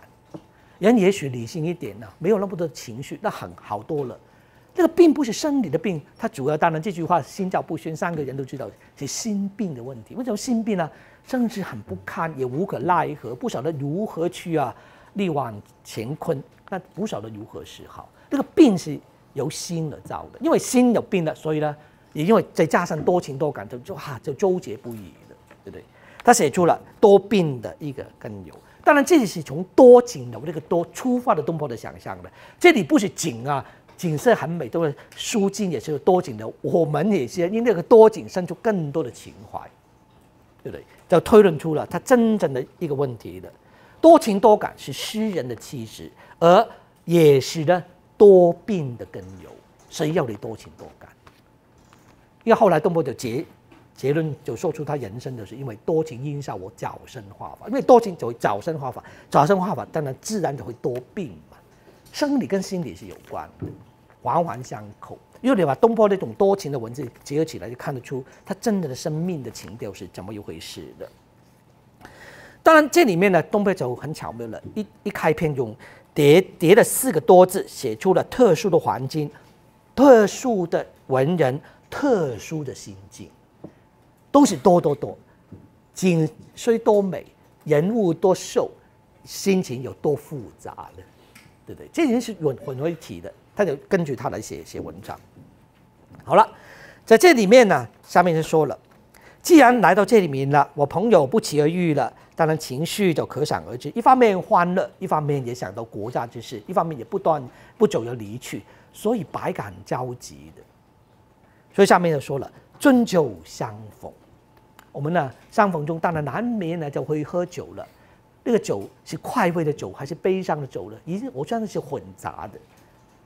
像春人当然啊，能够过来跟我这样见面很难得，因为东坡真的也蛮蛮想念他的。两个已经记三年不见了，但在见面的时候谈起来都是国家之事，既相逢既既喜悦，又是蛮悲伤的。但是只能借酒来来既抒发情绪，悲哀的情绪，也欢乐的情绪。好了，他后面呢，一方面欢聚而兴高采烈，被眼前的美景所陶醉，因此多喝几杯；但一方面呢，也跟了，他也说了，多乐事回头一笑空，就感到人生的欢乐也不是常有的，对不对？很容易有变化，不像景眼前的楼台的景色永远都一样，但我们都会有很多的变化。那到得不久之后呢？他他就说了，这这样的欢乐，回头一笑啊，转眼成空，一直都是虚幻的，难以永远都是这样。乐事回头一笑空，那个很难的，触摸对于很人生中一种很很虚妄的一种感觉，不那么真实。乐事回头一笑空，那么快乐的事情，多年以后回首一顾，原来转眼成空了。这不是在他的词。后来东坡啊，在离开这个地方，在旅途中呢，写了到了扬州以后，他写的他给写给朋友啊李常、李公泽的信中呢，也写表达出相关的一个情绪了。他说啊，此性体型了天性，这这条游历呢，他觉得嗯，老天呐，好像是故意安排，让我很幸运了，能够呢跟你们的这几个人相会，啊，所到之处呢，我都啊。啊，喝酒欢乐，欢笑不已啊！人生如此有几了？人生仍然有多少次这样的机会呢？一方面很珍惜，但最后一句说啊，未知他日能复继此否？不晓得以后能不能继续有这样的欢乐呢？所以这个情绪一直延伸的，不是只有这个词，然后写到他最后的书信里面，跟朋友还是谈的这个事情，一切都转眼成空。那。我们说这个词在上片里面呢，已经把情绪啊就降到很低了。本来是很欢乐的在一起，但呢写出了回头一扫空。但是东坡当然，我们说既然是朋友在在一起，尤其是至亲的朋友，东坡是不忍心呢说的太近的。东坡是基本上是一个人来疯，什么在朋友在一起的时候呢，他会啊扮演一个比较积极的、比较勇敢的角色，尽量不要把这情绪太太过的扩散，影响对方的情绪。因为现在也不是要要送别，都是要朋友也要邀请他，要把现在眼前的景色、美丽的山水、美丽的歌艺啊表演，把它留下来。当然，东坡也不忍了，把那个情绪一直这样的扩散下去所以下面他必须要自己提振出来的。好了，纵然乐事回头一笑空，但此时此刻还是很难得的相聚，所以东坡还是抓回当下的美好的感受来。不然的话有辜负对方的，尤其孙居元那份美意的，对不对？所以东坡在这里呢，朋友的其其他批判之下，他也知道在这里面呢，不能在一笑空的前提下，一段一段的写下了一种悲伤离别的情绪，这样的话有不是很很很对调了。因此呢，东坡在这里面呢，在既感到短暂的一瞬的一个一个一个欢乐，当然也也增加了他倍加珍惜的一份情绪。所以下面呢，就回到眼前的景色来下了。珍惜当下，也许是最好的方式。不要再再想那么多了，前面一个讲完就好了。这是他，我看他写到下篇的时候，东坡应应该的，本来情绪语音呢，跟着前面的多情多感人多病呢，你看着他整个情绪已经掉入低潮的。可是他也许写完一篇，当音乐过渡以后呢，他想的不能这样的，下面应该稍作一个一个收收收一个调整，才能够啊，不再辜负啊大家的一份啊期待。所以他就停下来，稍作停顿之后呢，东坡就改变了，他说：“停杯且听琵琶语。”不就一笑空之后呢，我们往往就一直就走到谷底去了，一蹶不振了。东坡不是，好把杯子停下来，不要再喝酒欢乐，也忘掉欢乐的欢乐悲哀了。姑且，本来是稍稍停顿一下的，这个“且”用的很好的，就停下来，姑且呢听听琵琶语，就是歌妓用琵琶弹奏的音乐吧。我们的沉醉在音乐中好了，也鼓鼓励大家珍惜当下吧。纵然转眼成功，也不能在一个一直想着转眼成功，就忘掉了当下的美好了。所以呢，姑且让自己停顿下来，一停下来了，就先欣赏琵琶的演奏吧。当然，似乎就是有希望能呢，把情绪的安顿在里面，专心听音乐里面的，忘掉人生的欢乐，甚至呢人生的虚幻的。那时候呢，看到什么？细脸轻龙，这很重要的。哎，这是跟着那时候真的用心看了女孩子弹琵琶里面的那种动作，她如何的按着琴弦，然后拨拨弄琴弦，细敛轻龙。人家那么专心的弹奏的音乐，对不对？看着音乐里面呢一种啊传来的声音。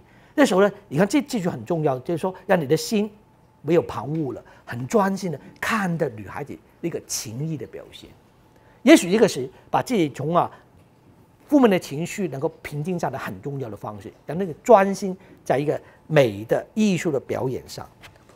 那时候呢，当你有这样的体会之后，突然就看到一个景了。他说：“酒醉脸春容啊。”他发现呢，演奏女孩子的，在她娇媚的脸上醉脸春容，荡漾着呢暖融融的春意。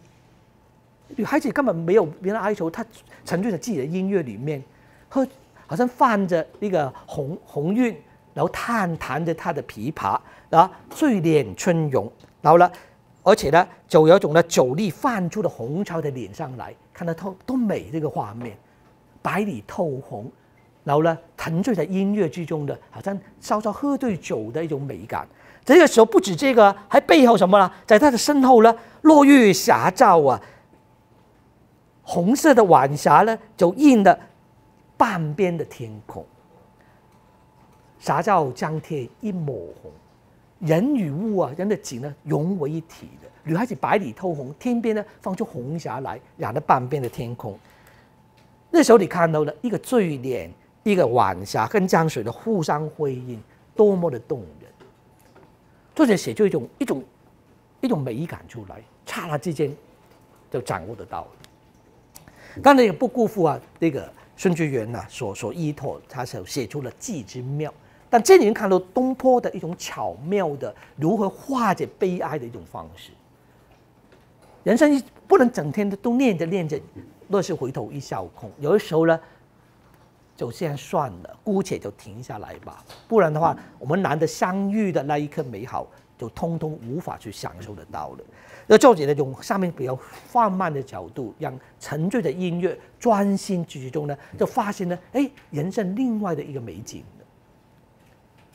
本来你都忽略的，都有都在做在一个了，你忘掉女孩子弹奏音乐多美，也忘掉了她的脸蛋如何融合在音乐之中，呈现出那种美的姿貌，而且呢，天地都跟着她有所变色的，你知道吗？人天就融为一体。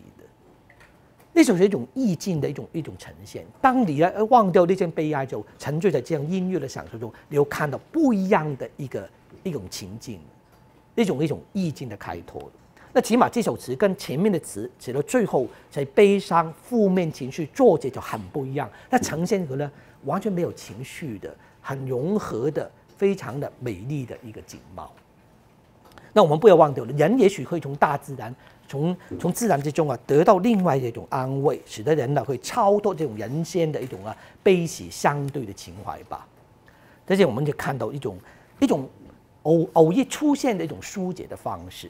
所以，在难得在这个时候，多么出现的一个词。那这个我们先先记着，以后呢，我们会用用后面的词就会随时会对照一番的。那下面呢，我们再看一首了《醉落驼》，在四十五首六十七页。当情绪起起伏伏了。刚才是难得朋友几个朋友相聚，东坡的就借这样的一种场景呢，做一些疏解，就不像之前的那么悲切。但有时候又会的情绪又会回来，周而复始，不断的一种波腾的。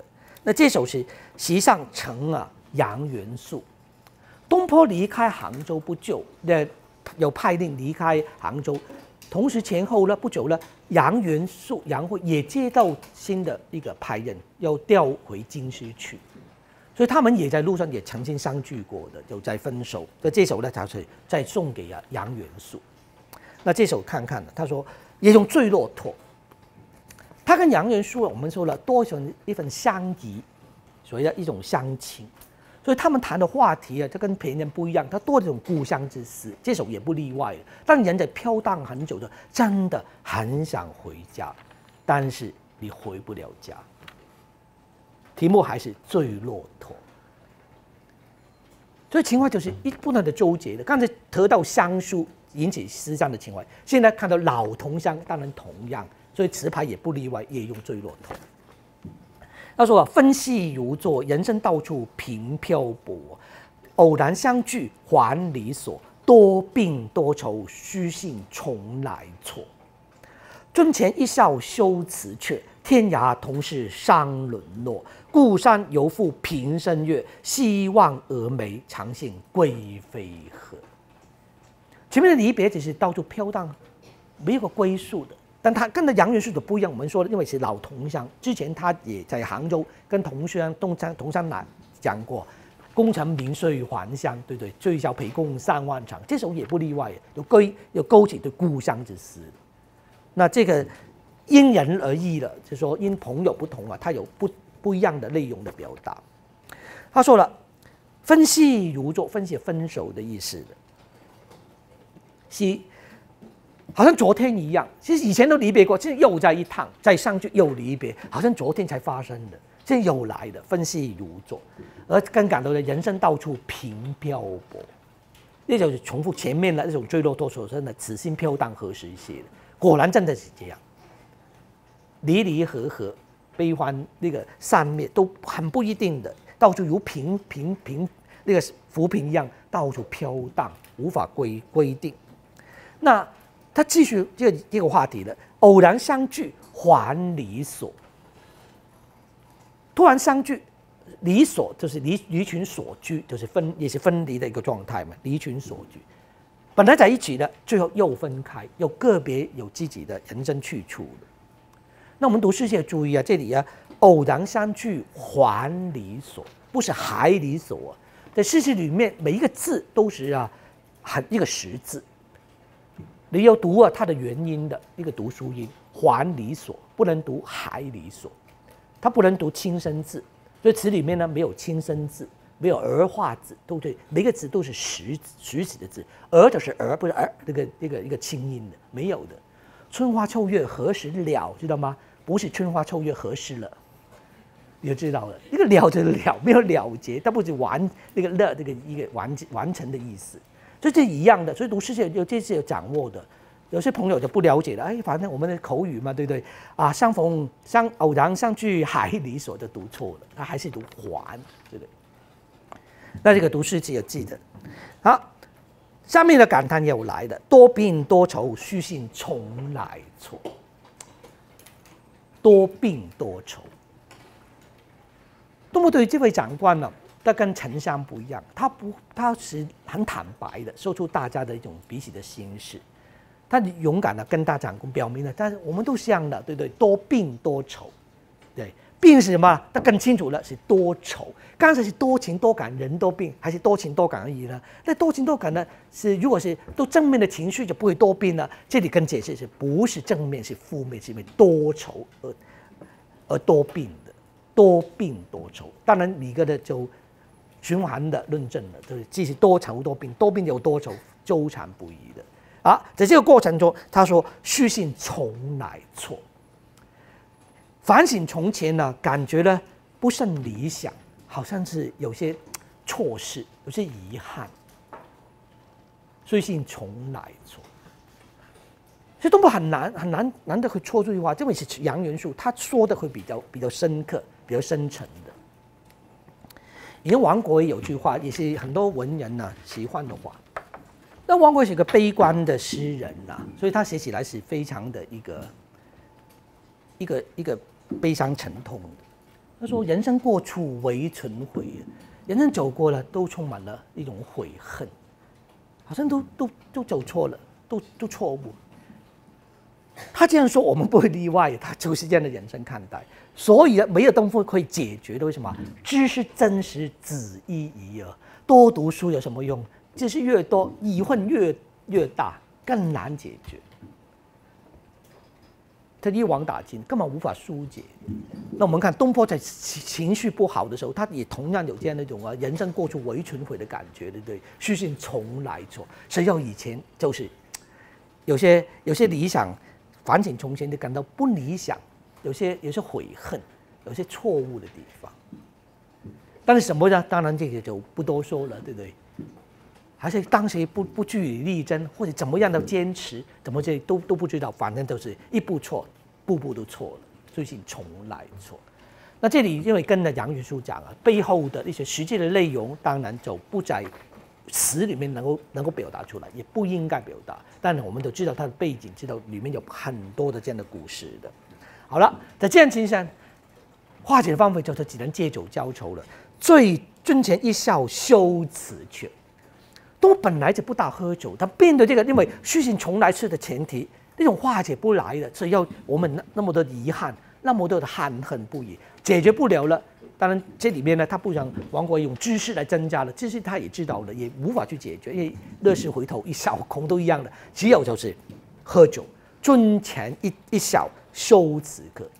我们在在酒尊前尊的酒尊尊前的宴席上，我们就是喝着酒，一笑置之，不要再想了，羞耻就不要再推辞。那词“却”就是一个语语尾助词，不要再再推辞，就干脆喝酒。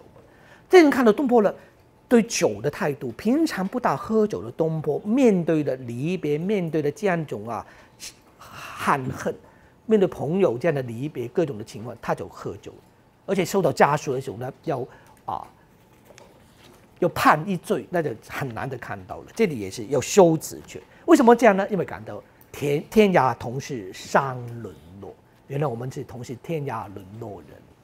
本来东坡，我们刚才说了，一直提醒大家，他这个时候还不是被贬官。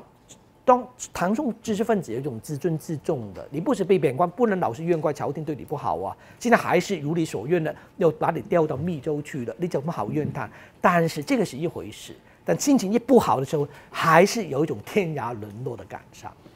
平常跟别人不多说了，但跟杨元素就会说出来同是天涯沦落人，天涯同是山沦落。为什么我们的沦落到这样？那道就是也是一种此生飘荡何时何时歇的这个最后的一个结果，就是到处感伤不已的。那这样的情形下，人的无所安顿的时候，当然很想找出一个一个归宿。就他们两个人聊起来，最后就是不如归去吧。所以说后面的结尾的“孤山犹负平生愿”，但是那个家。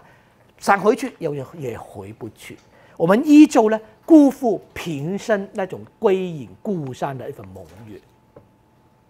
故山是什么？就是他们的家乡嘛。他是跟杨元素是同乡人，当然前面他的词里面也提到过，能够呢功成名就就还还乡，最少陪公三万场。但问题是之前还有一种指望，就功成名就就回去。现在到这个时候呢，经过没有多少天。又离别之后呢，东坡已经没有功成名就名就能还上的一种期待的，反而觉得真的回去，但是这个回不去，只能呢就在不上不下之间，不晓得如何自处所以只能呢辜负平生的能够归隐故乡那份约定。那这个时候呢，只能呢，仰望长空，悲叹不已了，就希望峨眉往西看看，望着盼望着峨眉山那一边，长信归飞鹤。我们就很羡慕能够回归啊那个峨眉山的那个仙鹤了。人不用鹤，鹤代表一种自由，得到的仙人能够化鹤归归故乡，但是我们做不到。那我们后面的注解说了，那苏东坡用的贵妃鹤呢，用啊《神仙传》里面的苏仙公的传记，说他的哎跟他因为苏仙公姓苏，所以同姓。那仙公能化鹤回故里呢，所以东坡用贵妃鹤加以啊比喻。我觉得东坡没有，应该不会用到什么用那个这个太偏的典故了。在诗词里面呢，最常用的，在神仙故事里面有个丁令威啊，他也是学道得成，最后呢化鹤，然后成个归故故乡的，这些才是在诗词最常用的典故。我觉得您用不要想到他因为是苏仙公的，认为他姓苏，做一个比喻的，太偏僻了。那么一时在戏上里面不会用到这个典故。用姓苏的仙人代表他自己的，反而用最常用的丁令威化鹤归仙归归辽东的故事嘛，这看得出他的无奈。以前还有一种期待，认为可以功成名就，可以回乡。在前面那时候还有一种跃跃欲试。经过几个月之后呢，东坡已经有点冷了，慢慢想到那个故乡的那个盟约难以实现，真的只能羡慕人能够受到得成就，能够化化鹤归故乡。不然的话，真的是无法实现这份理想的。这里的情绪又又掉下去了，比较悲悲伤的情怀。好，这些都是我们从啊这里面用了好几阙的一个坠落托。我们讲的东坡用坠落托这个词牌，当然有它的用意的。一直以来这样的一个情怀，从啊刚才在。坠落托写的思乡，到写到这一首也是思乡的情怀，都写到一种此生飘荡无法归宿的一种无奈，一直纠结纠缠的这个心情呢，好多天。那在游寒复命里面，实际上呢，我们注意后面呢，等一下讲的两两首的长调，透过比较长篇的铺叙的方法来梳理某些情绪，这是我们很值得注意的两首词。那等一下我们就再看看了一首《沁园春》。东坡用词，正是用词来写给他弟弟的作品。另外另一首呢叫《咏玉月》，用个长调。其实东坡第一首从头到尾围绕着月光写的词。我们说东坡很会写月亮，但以前的月光都是一个陪衬而已，或者一个背景，或者最后的结尾，然后交代月光出来。但是呢，写到咏玉呢，东坡从月光写到这里，写到那里。是会贯穿时空的，也可以说这首咏玉的，也可以说是后来《水调歌头》的前奏。我们可以承先启其后了，看到后面两两首词之后呢，就知道它的密州词的一个风格发展的脉络了。那等一下休息过后，我们看看这两首啊，也需要多花时间解释的词。那下面呢，我就啊，只是跟大家看了两首啊长调。东坡仔刚才从行由行到过密州，都是小令的创作，坠落托啊那几首采桑子都是小令，用短篇的来来书写，当然篇幅有限制的，无法去深说什么。长调的需需求不一样，这两首呢用长调来表达。第一就是要长调，你知道顾顾名思义，它的篇幅比较长，比较长的话，它的内容就需要做一些飘一些铺陈了，所以词需要铺排的。要把这个故事的背景或者呢情节做一个详细的一个说明，然后呢再把情绪带进去，让读者参与其中，得到一份共鸣。所以东坡当然东坡善写文章，这个也不难了，把它做一个铺陈。这点可能大家不知道了，古来的读书人呢最重视的功夫就是词赋的能力。那我们的文学史一一向呢就忽略了这一点。从啊秦汉以来，到清代考试都有考律师词赋的。那个律师是后来的，但词赋必考。那词赋赋的什么？赋就是铺也，就是铺陈。本来的赋啊，我们在在过去呢就说啊有赋比兴。更早的时候，赋是一种税赋税赋税一个税收的一种方式。那么什么夫呢？简单而言之啊，以前的抽税的时候呢，不算你我们现在啊都算百分之几的扣你的薪水，以前很难的。所以啊，一个啊去收税的官员到你的家的时候呢，你需要把你的财富要铺陈出来，怎么样呢？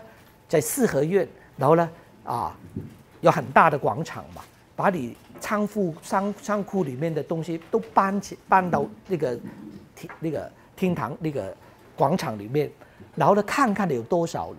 如果国家里面说有十抽一，那你十十十包米，我抽你一包。那十斤菜的是你一斤这样的去抽法的，所以你必须要铺排出来，让我看到，然后抽你多少。但你可以以物代物的一种方式的，对不对？就后来再说了，这种方式衍生的文学的创作就是一种铺陈的方式，清清楚楚的明白去张罗表达，然后呢再再做一番的说明。那这种功夫就文人本来就有了，所以啊，在长调里面需要铺陈。当然，对东方来说，纵然他不善写，不不善音乐。可是啊，因为有这些词赋的一个基础啊，要铺成故事是并不太难，所以强调就需要这种功夫了。因此就必须要把这种场景、心情啊，做一种很明白的说明，就把我们读者带入这个情境里面去。那另外呀，词赋里面还有一个东西啊，因为跟音乐的关系，它有所谓的领字。领字就是呢，在以前一首音乐啊，如果用长调来铺陈的时候。会很很漫长，那有时候听到人的昏昏欲睡，对不对？很多情节的安排就变得好像是平白无常，那个不多变化了。那领子的安排的什么？哎，一个韵结束，可能在放在一个字句的前面，一个字带领一一串的句子，提示你注意的一些时空的一些一些问题的。所以领字有它的在诗歌里面的起承转合的作用的，所以啊，小令就不会用到领字呢，大部分都是去声的虚词，去声就是一个呢，我们国语的第四声，比较很有力的带领一个情绪，对不对？比如柳永有首有首诗叫《八声甘州》，很清楚了，对潇潇暮雨洒江天，第一个字就对，就告诉你了，注意一个一个空间，面对什么呢？就下面那几句了。对于潇潇暮雨洒江天，一番洗清秋，一个领子带领两句，告诉你呢，我面对一个情境，把读写的开始呢，好像有刚开始又面对一个人，而下面呢，见霜风凄景，关河冷落，残照当楼。那个见就告诉你一个时间副词了，一个时间告诉你，逐渐有个时间的变化了。要注意一个空间的转，一个转动代表时间的变化。那只用这种方式呢？带出一种啊很立体的时空感出来的，让读者跟着作者的提示呢，注意聆听，专注在一个情境当中。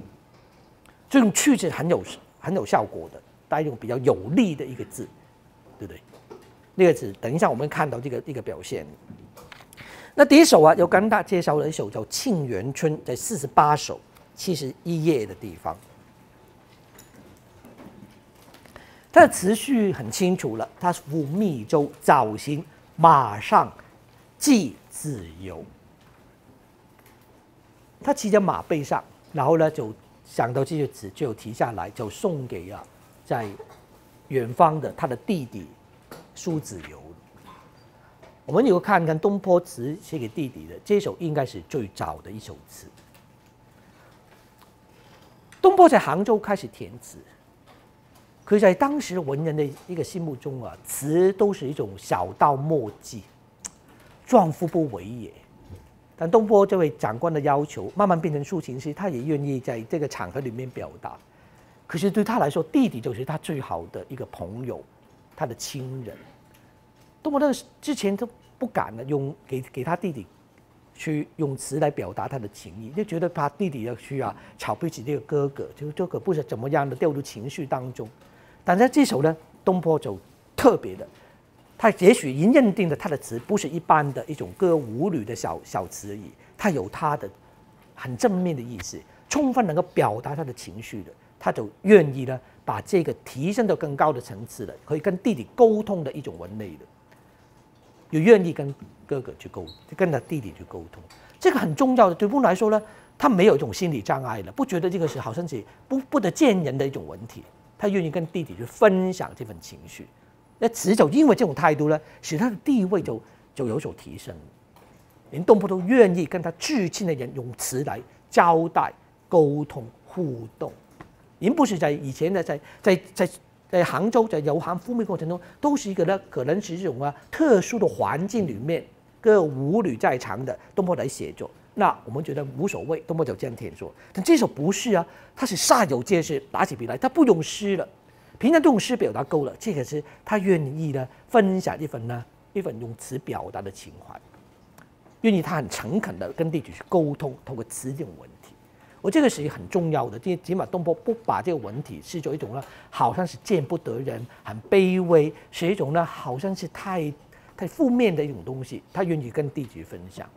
都因为要写给对象是弟弟，跟其前面的长官不一样的。好了，两兄弟透过词来表达，但东坡也词基本上是会写出哀伤的情绪，因为他最终要写给弟弟，因此东坡必须要稍作一份调整。我认为这个词，就东坡已经之前一直躲避这份情绪的，不愿意表达，一直压抑的，一跟弟弟啊要相见的这一份啊这份情绪。那但现在开始了。他也真的不得不出发了，要早上赶快起行的时候，想起他弟弟来。我觉得一个词呢是东坡应该是借这个词来整顿好自己的心情，准备跟弟弟见面的一份啊一个创作。如果你爱一个人，你喜欢你的弟弟，你不不想啊让他跟着你啊颓唐、悲伤、哀痛的，你会自己烧出一份一份一份整顿。所以跟东坡跟弟弟的互动有一份呢，一份理性在的。他毕竟是家中的长子，弟弟是跟着他一起成长的，他有责任要保持好一份呢昂然的斗志，带领他弟弟。所以这个情绪在他对上是弟弟的时候呢，他的情怀开始做一个一个调整了。所以弟弟对他来说呢，是应该是可以做平衡处理的一个很重要的一个方，写给弟弟一个平衡处理一个方式的。往后我们看到东坡很多跟弟弟的互动，会看到这个这个这个端倪的。那这次我们看到东坡怎么样调整心情的？你看很不同的。好，《复早密州早行》这首词，《沁园春》。我们看这个作品，那孤馆灯清了，野店鸡嚎，旅枕梦惨。见月华收敛，晨霜耿耿，云山吃紧，朝露团团。世路无穷，劳身有限，次次区区常险患。唯吟罢，凭征案不语，往事千端。当时共客长安，此二路出来居少年。有笔头千字，胸中万卷，至君尧舜，此事何难？用舍由时，行常在我，袖手何妨闲处看。参身常见，但悠游逐岁，扯斗尊前。第一，起码东坡在这个词里面没有清楚写出老病之叹不能跟弟弟说自己老病，那不得了，弟弟跟着的你你又老又病了，东坡也不忍的这样去表达，所以他说去调整自己，勾起往事的追忆，追到什么呢？一个起点来。莫忘初衷。我们当年考上进士的时候，那一种意气风发，为什么忘掉那份斗志了？多试图试图跟弟弟的回回忆到这一点里面呢，焕发起这份精神来，来做一种平一个平复他忧伤的情怀的。所以，其实我觉得是一个对象的选择很重要。东坡有跟弟弟沟通起这个，当然东坡也很诚实的，刚开始的心情真的很不好。你看他写的，好，这次我们说了就在。那么十一月下旬了，准备呢已经要动身了，但是呢已经很晚。那他本来想啊离开这个地方，然后呢立刻往齐州山东去的，没想到在这个过程中呢，他发现了那一年天气很不好。他想走的路呢，那个地方啊刚好河道冻河就是结冰了，他去不了，无法直接去。所以东坡必要绕路去，就拖延了一点时间的。那这个时候已经不得不不赶快要往北北方去，所以呢，他就整顿好，就一定要出发了。这是写出他相当迫急的一种心情的。那上篇先写的冬日早晨呢，离开旅馆呢，踏上征途的所见所感，景中是友情，是一种很郁闷、孤寂、无聊的心情。那勾起对跟往事的追忆，一步一步写来，所以要铺陈。所以前面先写了三句啊，现在作者用呢，他写出了那个旅途早上起来的一个状态。那以前呢，在旅行真的不方便，如果走陆路的话，最好就是一大早要起行。为什为什么呢？路途遥远，你不知道啊，到傍晚之前能不能找到旅店的，所以更要赶快赶路的时候，就一大早就做。你不能做拖到中午啊，走没几步路，这个这个啊，找不到旅店的很麻很麻烦。早上去了，如果中午傍傍晚以前找到旅店，先先停息，然后再等第二天早上出发，那也不好预预估的。而在晚上出发的时候呢，走水路的话，最好是最好是晚上出发，为什么？可以啊，省一点钱，住在船上不需要投投诉那个旅店嘛。到晚上那就就出发，就住在船上就好了。所以两个是不同。现在他是在马上就走陆路，所以一大早就出门，这是当时的一个习惯。好了，起头三句啊，写出了就是早的一个实际的样貌。怎么早呢？一方面，他住在孤寂的旅馆里面，被呢鸡鸣声把他叫醒。然后呢，就因为鸡鸣吵醒了，他的梦就破灭了，就空余残梦。就呢，因为空余残梦，眼睛呢就看到旅店里面散着那种呢轻盈的、微弱的一个灯光。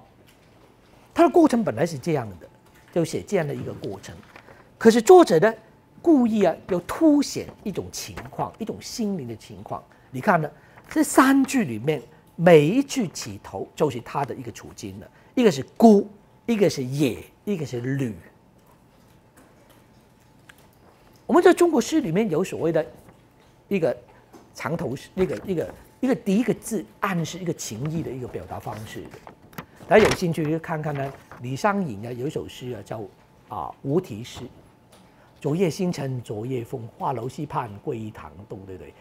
中间的四句一个两个两个对联怎么写啊？身无彩凤双飞翼，心有灵犀一点通。隔座送钩春酒暖，分曹射覆蜡灯红。好，如果你把它像现代诗一样的排成一排，就是什么？每每一句的第一个字把它串联起来，就是身心隔分。你看有它的用意的。这里东坡爷啊，像类似手法，他强调自己的一种啊，在早上里面的一个一个情情情绪了，用三个修辞词放在每句之前。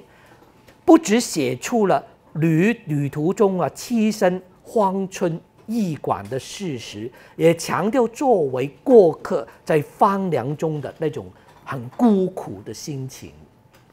你看，他强调了三个字：是孤馆，是野店，是在旅整，对不对？在旅途中，如果你在家里面就不会这样写了。这孤独怎么来？就是因为呢，都在荒野之中。投诉旅馆在旅途中的一种心情，这个强调这三个字。所以文学里面你会看的时候，就是不是哦意思表达把它翻译而已，就看他他的布布排的方式有情意在其中的。就东坡在这里面在强调这里面的。好，这里面就写出他早上起来的一个状况。当然，对仕途啊奔波或者官场失意的人呢来说呢，冬日早行的平常夏天也罢了，冬日早行是很。很悲苦的事情的但是不得不这样走，因为他不知道走到什么时候，对对？而且已经有点晚了。好，在这个时候呢，梦醒之余了，就呢，有种看到了外面呢月光微暗。他说了：“见月华收敛，晨霜耿耿，云山吃景，朝露团团。”一个“见”字就带出后面四句。那“见”字什么呢？好像一个刮胡啊，好像我们都宿舍里面的 common factor。对不对？把这个剑放在这边，现在都是写出什么呢？都是啊，月华渐收敛，晨霜渐耿耿，云山渐赤梗，朝露渐团团，有吗？那简单提了，他就告诉你，你要注意时间的变化了。刚才是空间的描述，现在已经踏上征途的时候呢，逐渐看到时间变化，时间如何从啊天刚亮到天慢慢亮的时候的情景。东坡写这个时候呢，写旅途里面，我们注意一点呢，他好像一个一个旅行者带着摄影机给我们呢看到他现场的情景一样的，一步一步啊起起落落，看到一个情境变化。所以这个字用个见，就是一个领字，我们说的这个去声字，我们的国语的第四声，很有力的带住后面的语句来的。好，就写的渐行渐远，时间也不断的变化，历历在目。他说了，那时候逐渐什么？月华收敛，月华的月光，敛就是洁白的丝绸。这月光呢，走了，慢慢暗淡了，就是收着收藏起来的，没有洁白如丝绸般的亮亮光嘛，就月华收敛，对不对？他说了，天走着路路的时候呢，看到月光呢，逐渐呢就已经不那么明亮了，慢慢已经呢不那么样的一个放放亮了它的光光芒了，对不对？月华收敛，那时候呢，成霜耿耿。留注意啊，东坡是骑在马背上，马呢忽前忽后、忽高忽低的游动，多么的随着它的姿态的。现在看到更高的地方。月光收敛了，月光已经呢，就是已经天亮嘛，对不对？已经不那么明亮的，所以你看到什么？一下面呢，晨霜耿耿，早上的霜呢，已经呢，耿耿的时呢，就代表为明的样子，是亮的，但不那么亮，因为不一样的。为什么这个很重要呢？如果你是晚上，月光很明亮，照着一个霜的话，我们说床前明月光，疑是地上霜。那时候如果有月光照这个霜，你分不清楚那是月光还是霜的白的，因为都白白的一片。但因为月光收敛了，你才看到，哎，原来不是月光照在地上，而是真的是霜在那边，而且是微微明亮的。这是蛮蛮写实的，非常清楚。起码就是早行嘛，不是晚上。如果晚上的话，那月光明亮，你就不可能知道是霜，可能你是疑是地上霜而已，以为是月光。刚好因为没有月光了，所以知道真的是霜了。但是霜并不太亮，是微微的明明亮的样子而已，就成霜耿耿。好了，这是蛮蛮真实写出了在旅途中看到忽贵忽低的样子。要注意，东坡是高低起伏的，因为骑着马背，对不对？好，看了月光是往上看，霜是往下往远方看。那我看了霜的也没什么了，因为一片都是很残残的残败的一个样子。就没什么可观，就再往上看了，那往上看又看到另外的景了，云山吃景，就看远处呢，云山山上的柳云呢，就缭绕着，那云彩缭绕的山就像什么展开的舒展开的一个景，一个织锦一样的，吃的是铺展，展开吃景，和一个锦缎铺排出来一样。那这里看到一个一个山呢，被云缭绕的一个样子。这个云霞呢，缭绕的远山呢，好像呢给天边呢铺展出美丽的锦缎一样。云山吃景，啊，那个远山的景，山的阻短的一个远处的距离。好看完远的景呢，那下面什么？朝露团团，那个晨朝都是早的意思。朝露团团，团团呢形容一个一个。形容露水很多的样子，对吧？化为露水了，走了早上的露水呀，走了渐渐就变多了。这是看到写到的忽高忽低、忽前忽忽忽远忽近的一个样貌，都是因为骑在马背上那种啊基本的一个状态，他就写出这样的一个。好了，云彩是变幻的。我们说写东西啊，如何从前段变到后面的情，必须有个可以。可以自然变化的一个，而且互相推动的一个轨迹的，不能把它调调换过来。为什么呢？你写到云山吃景，朝露团团的时候，我们晓得了，那个云山的云呢是会变化的东西，而朝露团团，我们想到了，中原很多的那个露水啊，但日光出来之后呢，露水就会被蒸发掉了。更不如说，我们说人生如泡如露的，就想那种人生虚幻的感觉来的，那是有必然性的。如果有景到情，就有一个时间变化，而且里面有关联性的，里面有关联性的出来。所以用云的变化，从啊朝露团团，朝露也会变化的，太阳出来它就被蒸发掉了，而且也有人生如朝露的感伤的时候，自然就带出后面的一种啊情感用语来的。他说好。世路无穷，劳身有限，此起区区常显欢。那是有根由的。看到朝露团团，为什么人生好像眼前的朝露一样？那他对人生的感恩出来，他说：“世路无穷。”他说：“功名的路途啊，漫漫无际的，长长无期。但是呢，劳生有限，我们劳碌的生命呢，短暂有限。因此呢。”以有限的生命去追无穷的一种功名之路啊，像这样的辛苦追求，日子永远就减少欢乐了。这个区区有辛苦的意思，区区长一些，去去去追求，不断的辛苦追求了，难怪我们的不快乐。开始周姐这边呢，不是写景了，开始议论一番，讲到人生的无奈，为什么人生那么虚幻，就了解到生命呢。所以那么悲苦的一个原因，谁要我们用那么短的生命去追求无穷的一份的一份功名之路呢？下下面做了，为淫罢，凭正案无语，往事千段。好，刚才引起一种啊有善生命追求无穷公民的感伤之后呢，作者呢就低声吟叹之后啊，走了倚在马背上沉默不语能够多说什么？还是必无了，你还是要去追求。纵然了解生命之间，你还是追求人生最怕的不上不下之间。好，他也不能，因为旁边也没别人能说了，所以不多说了，沉默不语。这个时候呢，千头万绪的往事不断的涌上心头来翻腾，心情呢，真的实在难以平静。往事千段。我们说，这这个时候东坡驾驭词已经非常好了，如何从啊前面的结束，就是呢留有一首。引申出下面的表达呢，在往事千端之中呢，哎，东坡在里面呢筛选过后呢，就想到一一个一个跟弟弟相关的故事来的，就串联出往日啊追求功名的那个起点的，谁要你追求功就在那上面。好，上面的走啊，回忆当年跟弟弟啊初到汴京应试时候的那个情况不想那个谁想起来就会要。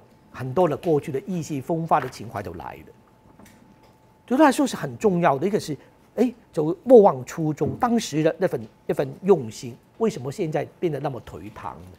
所以他说了，当时共克长安，十二路出来居少年。长安呢，从啊先秦以来，都成为我们的好像呢常见的一个首都，它成为。后来成为一个帝都的一个象征。现在呢，对于宋代来说，他们的首都是汴京嘛。那在宋仁宗的嘉佑年间呢，那两兄弟呢随父离开四川赴京考试，都是共克长安那一年。第二年呢，他们都到进士，都当都考上进士的。当时啊，东坡是年二十二岁，弟弟是十九岁，他们相差三岁。那兄弟呢？联名重榜，名动京师。他想什么？他想起了他们二路像什么？二路出来居少年。二路啊，是指啊晋朝时候西晋的陆机跟陆云两兄弟。两兄弟啊，都很有才名。他们由江南的吴中的地方呢，到晋都洛阳去，就都被啊当时的名学者都张华在所弃用。人称为二路。那东坡两个考上进士呢？他们呢受到谁呀？受到欧阳修的一个重视嘛。他觉得这个情形如同啊二路碰到张华一样的。当时啊，陆机啊跟陆云的年岁啊更年轻。那陆机是只有二十岁，陆云只有十六岁。当然比起来，东坡是二十二跟十九都也差不多了。就是我们都是少年的时候去到京师，都比当地的那个有名望的学者所器重的。我们是欧阳修，陆机、陆云呢是张华，不是都一样吗？那时候你看，我们都意气风发。他说啊，有了笔头千字，胸中万卷，至今尧舜，此事何难？这里的就活用了杜甫的句子啊，所谓读书破万卷，下笔如有神，至君尧舜上，再写风俗春，来表达他们的才学抱负的。你看，我们就是就认为啊，哎，我们凭凭的我们的渊博的学识、敏锐的才思啊，必能扶助君王，达到尧舜的境界的。所以那个当时认为呢，此事何难？觉得并不难的，我们一定会做得到这份呐一份理想的实践的。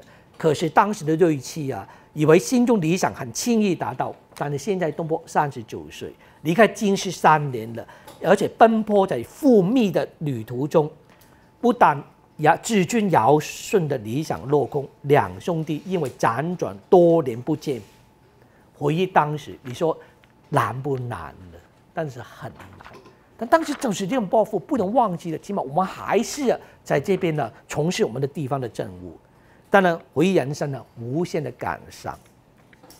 可在这个过程中呢，一份理性出来之后，东坡就慢慢知道怎么疏解的。他说：“好了，纵然很难，但是呢，我们还是可可以做人生的取舍的。为什么呢？他说：‘用舍有时，行常在我，袖手何妨闲处看。’用更是，意思说了，我们被朝廷任用，或者呢，与否，有时就有时事来安排。”以前我们真是欧阳修啊，旧党得胜，我当然我们被用了。但如果呢，现在是新党执政，我们不不被用，是实施安排的。但是你不能都是怨怪外在的因素的。为什么？行常在我，出事就行，常就是退退隐嘛，不那么样的一个往勇往前的，都是由自己来决定的。你不能老老是怨怪时事对你不公，对不对？你在还有一个抉择的机会，用舍有时，就是你用不用。行常在我，就是呢，你出来还是不出来，你是呢，你有决定的一个权，那个主体性的。那这样的话，他说袖手何妨闲处看，人难道没有完全没有没法自我做主吗？其实不然的。东坡以为呢，出来做事或者隐居独处都可以决定，心态上可以稍作调整的，只要不要呢，整个身心都陷入悲苦之中。有时候呢，不妨呢悠闲跳出这个困局里外之外，当个旁观者。这样一来，人就可以从这种生活的直告之中啊得到解脱了，心境就会呀宽大得多。这这样，我们要做地方了，我们就在勇于勇于做我们地方的事情，不要在整朝廷里面做什么，我们可以退一步来来处理我们的事情，不要纠结在其中了。人还可以做这样的一种决定的，那。我有学的有袖手何妨闲处看，我们就看呢，好啊，就给他们机会了，看他们怎么做，我们就做个，当然不是袖手旁观的，我们就既然无法让我们的真的去关心的处理个事情，我们就跳出来做一个客观者来看待这个事情。但更重要是身长健，希望跟弟弟啊能够保持着很好的健康身体，那也可以等到最后呢，能够悠游足岁，且斗尊前。就会悠游的，然后度过一生，足岁就是终其生的意思嘛，终其一生能够悠游的度过一辈子，而且斗尊前，斗的是我们的斗酒的互相取乐、喜悦、玩耍、戏戏耍之意嘛，我们可以在酒宴上互相取乐的，这是看弟弟一份一份期待的。也许我们也也也许在在不在朝廷的在。在地方任官，我们就到处在地方也无所谓的，我们就过着这样的一种啊一种悠悠游的一种生活。当然说是这样说了，难免一种失意，但也无无可奈何。但这里面看到东坡调整的一种一种机制的，因为写给弟弟一份理性的自己出来，不然都在呀悲伤之中。也许人生很多的一种难以掌握，但人也可以做自己的。最近看到东坡了，在。写给弟弟的一个作品之中啊，他意识到作为兄长的一份责任，就不能沉湎在自己的悲哀之悲哀之中了。希望呢，能以啊一种比较看开的心境呢，来调整自己，同时可以啊宽慰对方，也可以呢疏解自己的悲郁。所以在东坡的情感世界里面呢，兄弟之情啊，对他来说是不一样的。会联系到一种理想、一种承担，作为兄长带领弟弟一种承担，还有一种理性跟热诚的一种来源。那下面我们看到，只有东坡写给弟弟的词里面有很多这样的互动关系过程中，东坡会做很好的疏解的。包括后面的我们读到的《水调歌头》，写到纵然不能相见的，还可以但愿人长久，千里共婵娟，还充满一种希望。前面我们看到东坡的词，一直一路走来。只要面对离别思乡，都是悲悲悲伤、过多的负面情绪了。但起码这里呢，东坡跟弟弟在一起，他会唤起了一份精神，对未来还有一种指望，还有一种期待，这是很重要的。所以情感里面，东坡之前忘掉了，他还有个弟弟可以真正跟他沟通互动的，就会自然会调整出一份比较积极理性的态度出来。这大家先记住，以后呢，从这里开始，东坡就慢慢有很多跟弟弟对话的，透过词的对话的机会。那这也是一首啊，那下面呢还有一首啊，就是送给啊孙巨源的一个作品《永遇月》，在下面一首四十九首。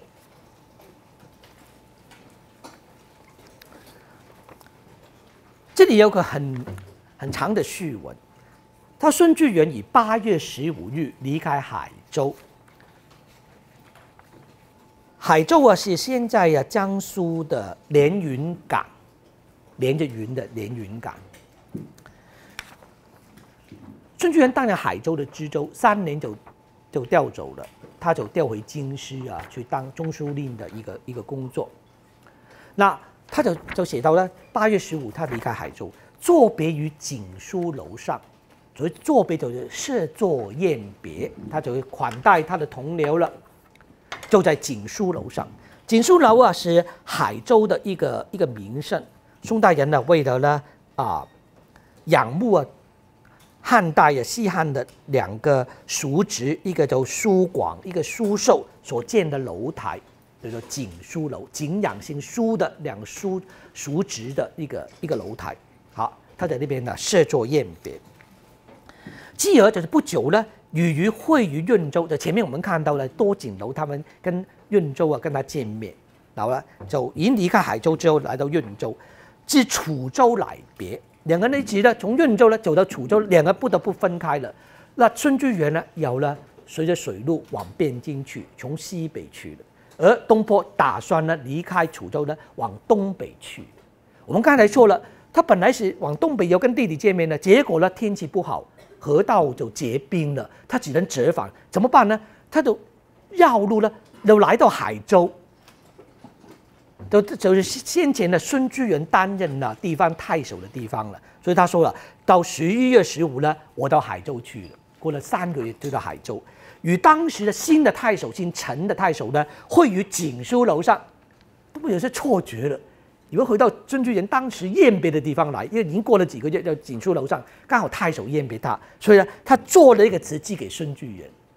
人生很多巧合的，这诗写的很很妙的妙的呢，那个很有机缘的，来到这个地方，来到当日啊孙巨源设籍的地方。东坡一种恍神的，仿佛呢，就来到当日啊，在宴宴别的场合去了。这词啊，你读读看，很有趣的。它就是绕着一个月光来写，描写出彼此间的一种啊关系。他说啊，长忆别时啊，锦书楼上明月如水，美酒清歌，流连不住，月随人千里。别来三度，孤光又满，冷落共谁同醉？卷珠帘，凄然顾影，共忆道明无寐。今朝有客来从睢上，能道使君深意。屏障清怀，分明道海，终有相思泪。而今何在？西园清寂，夜咏露华清背。此时看回廊小月，也应暗记。其实上边先呢，东坡现在是十一月十五啊，你记住啊，东坡站在锦书楼上，但是东坡不立刻写他十一月十五，就回想十八月十五的事情了。他说：“长忆别时，我一直就记得，因为你当时在润州跟我见过面，想想到你的八月十五的锦书楼设作宴别的时候，我就一直想到你这个事情了。那个时候呢，正是在锦书楼上，明月如水呀。这东坡第一次用水了形容啊，明月的一种啊。”普照天下一种啊很清凉啊温润的感觉，明月的如水。好了，那时候呢，美酒清歌。你在八月十五的时候呢，你在这边宴别嘛，美酒清歌，很啊清幽的歌歌谣啊，配着美酒呢，来欢度啊这个这个节日。而流连不住，月随人千里。三个月前你在这边了，多令人陶醉，对不对啊？你很想在这边呢留下来，但留不住了。结果呢，月光随着你呢，都千里之外到京城去了。东坡这个时候是回想孙巨源的故事，他根本心不在焉。现在陈太守请你的在那边呐去欢宴的，结果东坡想的是故人，把陈太守都不放在眼中的，他现在谁都不写在那个词里面，他并不在在乎这个人，对不对？那现在来到这里啊，他说了：“好，别来三度，孤光又满。你离开之后，从八月十五之后，现在是九月十五。”十月十五，现在是十一月十五，有三度月光在满之时了。但对他来说是孤光，因为没有你同在，所以月光是孤零零的挂在天空。我也孤单的站在锦书楼上。通过真的是啊，愧对一个太守，人家好好好心来来款待你，结果呢就不把它放在心中，现在还挂念着你的好朋友，对不对？孤光又满，冷落共谁同醉？冷冷清清，我不晓得跟谁呀共醉明月了。明明今天不是序文说吗？与太守会于锦书楼上，但这个呢不是你心中的好朋友，根本不把他放在眼中，所以呢，我的冷落就依旧在了，对不对？冷落共谁同醉？对不对？这都是用一个月光呢，从月光的当下的月光想起八月十五的月光，月光会跨越那个时间的，做一个联想的。而且呢，你看现在呢，卷珠帘，孤凄然孤影了，共依。道明无昧，那个意就是以前的是那个啊，是第三者那个的意思。但这里的那个是什么呢？有些人说供影子，道明无昧，应该不是那个意，应该是还是月光。为什么？因为多么睡不着，卷珠帘卷起窗帘来的，在在那个观色那个那个地方，而凄然顾影，很很很凄凉的回头看看身边的眼影子。供衣当然不是影子，还是供着月光，因为月光还是照着你嘛，对不对？从高处那你照下来，月光呢照着身子，身子投上个影子，一直跟着月光呢，到明无寐，到天亮了都睡不着的。所以一个月光从啊月光出来到月光西沉，它都陪伴着月光。而从月光当下十一月十五，就想到八月十五的月光来，但这个还没完呢。我们就问了，为什么这一天晚上东坡还是有种要恍惚？啊，心不在焉，想念着孙追元呢，不是没原因的。他把时间又倒叙过来，就想到了八月那个十月十五那天的白天的事情。你看那事情就用倒叙手法了。你看那东坡已经很利落了，不是按照时间的前后一个迈进了，他有个呢可以啊跌宕变化的一个一个手法的。他回到什么呢？今宵就是那天的八十月十五那天的白天了。他说：“今朝有客来从睢上。”那读睢啊，睢水呀，睢水的发源自河南开封附近，睢上就是汴京的方向吧？睢上，它从汴京的方向来的。那个睢水就是从开封那附近发源的，来从睢上的来自京城。他说今天有客人，就从京城的睢水那边过来的，然后能到使君生意。他的能够说出了史君，史君就是孙居元、孙史君的的以前的太守孙史君，就是你的那份深情厚谊。我们假设假设就是这个客人呢，就从京城出来，孙居元离开楚州，往西北沿着水路往京城去，也许那个客就在旅途中呢，就跟孙居元见面了，对不对？那孙居元可能就问他了：“哎，你到哪里去啊？”他说：“哎，我到江南去。”那孙居元可能就多就。就拜托他了。哎，如果你在江南那带呢，碰到我的好朋友孙苏东坡，帮他帮我问候一声吧。哎，果然呢，东坡还在海州徘徊。使君那个使者呢，来到他面前，就跟他，哎，我就告诉你，孙君没有没有忘记你，要我呢啊问候你一声的。所以轮到许君胜你是这样来的。所以东坡今天晚上，所以选起孙居元拜寿，不是没来由，因为这个客人带来孙居元的消息的。那有个因果的，所以中国在这里面做了很多的变化，对不对？在这个好，东坡才想到啊，屏障清怀，分明道海，终有相思泪，要写就泪的。但对我他们两个人呢，同年考上进士，孙居元回到京城去，也不是说什么官僚了，他是来担任了啊一个知制告，帮皇帝啊写他的起居的生活，然后赚那些诏书的工作，一个文书的工作。当然，东坡也多羡慕他了，回到京城去，起码还接近皇帝一些。那当然，两个人还是不被重用，还是新党的继续执行他们的政务。所以他想到了屏障的依靠着清淮清澈的淮水，那睢水呀一直流，然后呢，睢水经过安徽啊，进入淮泗水，再流入淮淮河。流入大海的，这个海州在东海之侧。当然，不管是实写那个海是指海州，或者呢是大海，但是海州还是在东海之侧，都是一语相关的。分明到海，那个睢水，实际上一条河不都是贯穿起来的？睢水流入淮水，淮水呢就注入了那个海长江，又流到那个东海来，而且来到我海州，都是一脉相连的。那顺便一提，就是东坡早期的词都觉得呢，跟朋友没有完全的区分开。那看得出啊，从唐宋以来呢，我们的运河的是那个沟通是非常好的。所以东坡不管丢到哪里去，都可以找到了水陆相接相通之处，都觉得我们还可以一水相连。哎，纵然他是来回到京城的。从睢水，睢水流到淮水，淮水就有了注入那个淮河，那流到那个海海里面来。现在我还可以可以跟它一脉相连的，所以分明到海，会分清楚呢，到海或者海州这边来的，终有相思泪。我们在水中都看到了，里面饱含了一种相思的清泪在水中。长长的水代表长长的一种一种啊相思的情怀，永远不会中断。的，终有相思泪，都有彼此思念的情怀在其中。看到海都是会想到那里的，一点都很深的情怀在其中的。那个水一脉相连，东坡一直早期都可以看到这样的词。往后啊，我们读到词篇都看到以水来相通情感的一个一个布局的。好了，都猜想了，而今何在？现在你在哪里呢？我现在来到海州，那孙志远呢？经过那么多几个月之后，孙志远老早已经回到京城，所以他想，你今天应该在京城了，在哪里呀？他说：“西园清净。”西园是指中央啊行政官署中书省的别称，是中书省的别称。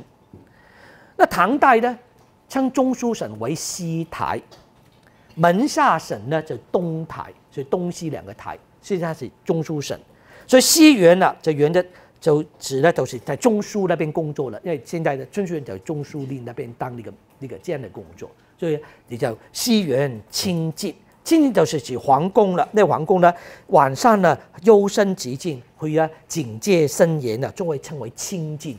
就在呢皇宫啊幽深的一个地方，那就在那个中书省那边工作。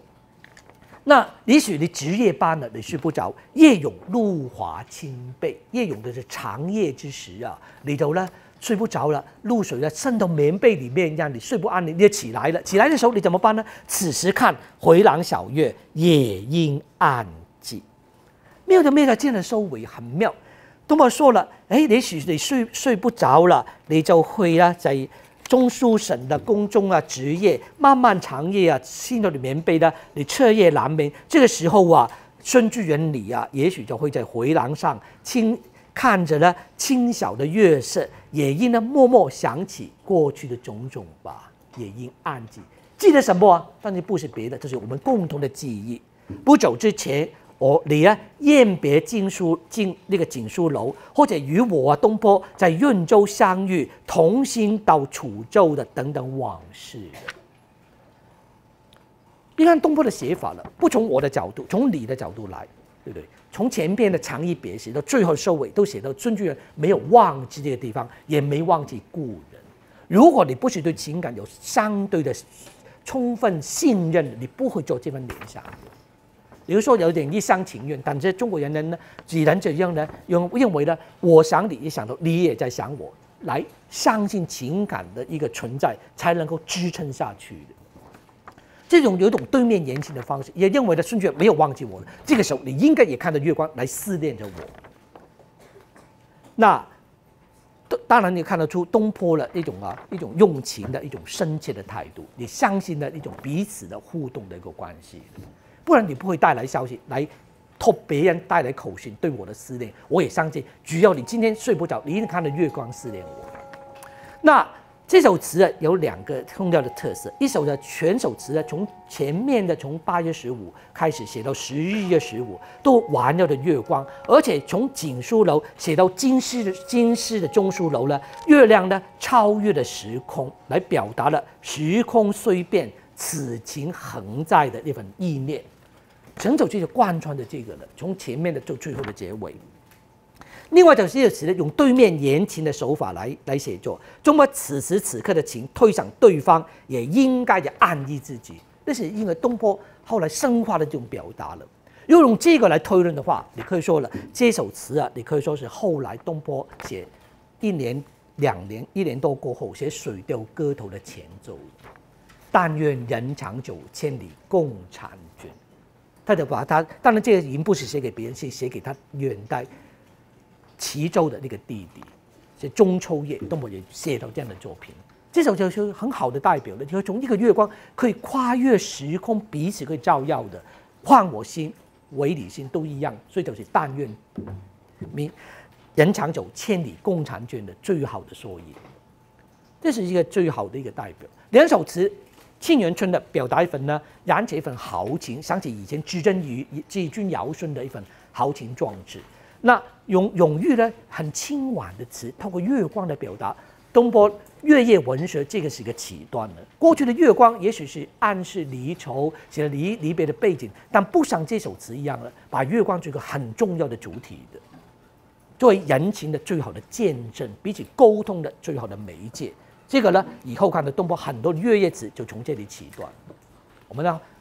之后了，下个礼拜了，我们的正式中进入东坡了词的成熟时期，密州时期。这前面所呈现出来的风格，就够做更进一步的发展。最先呈现的有两首《江城子》，延续了豪情跟婉约，但都写的最极端的两极。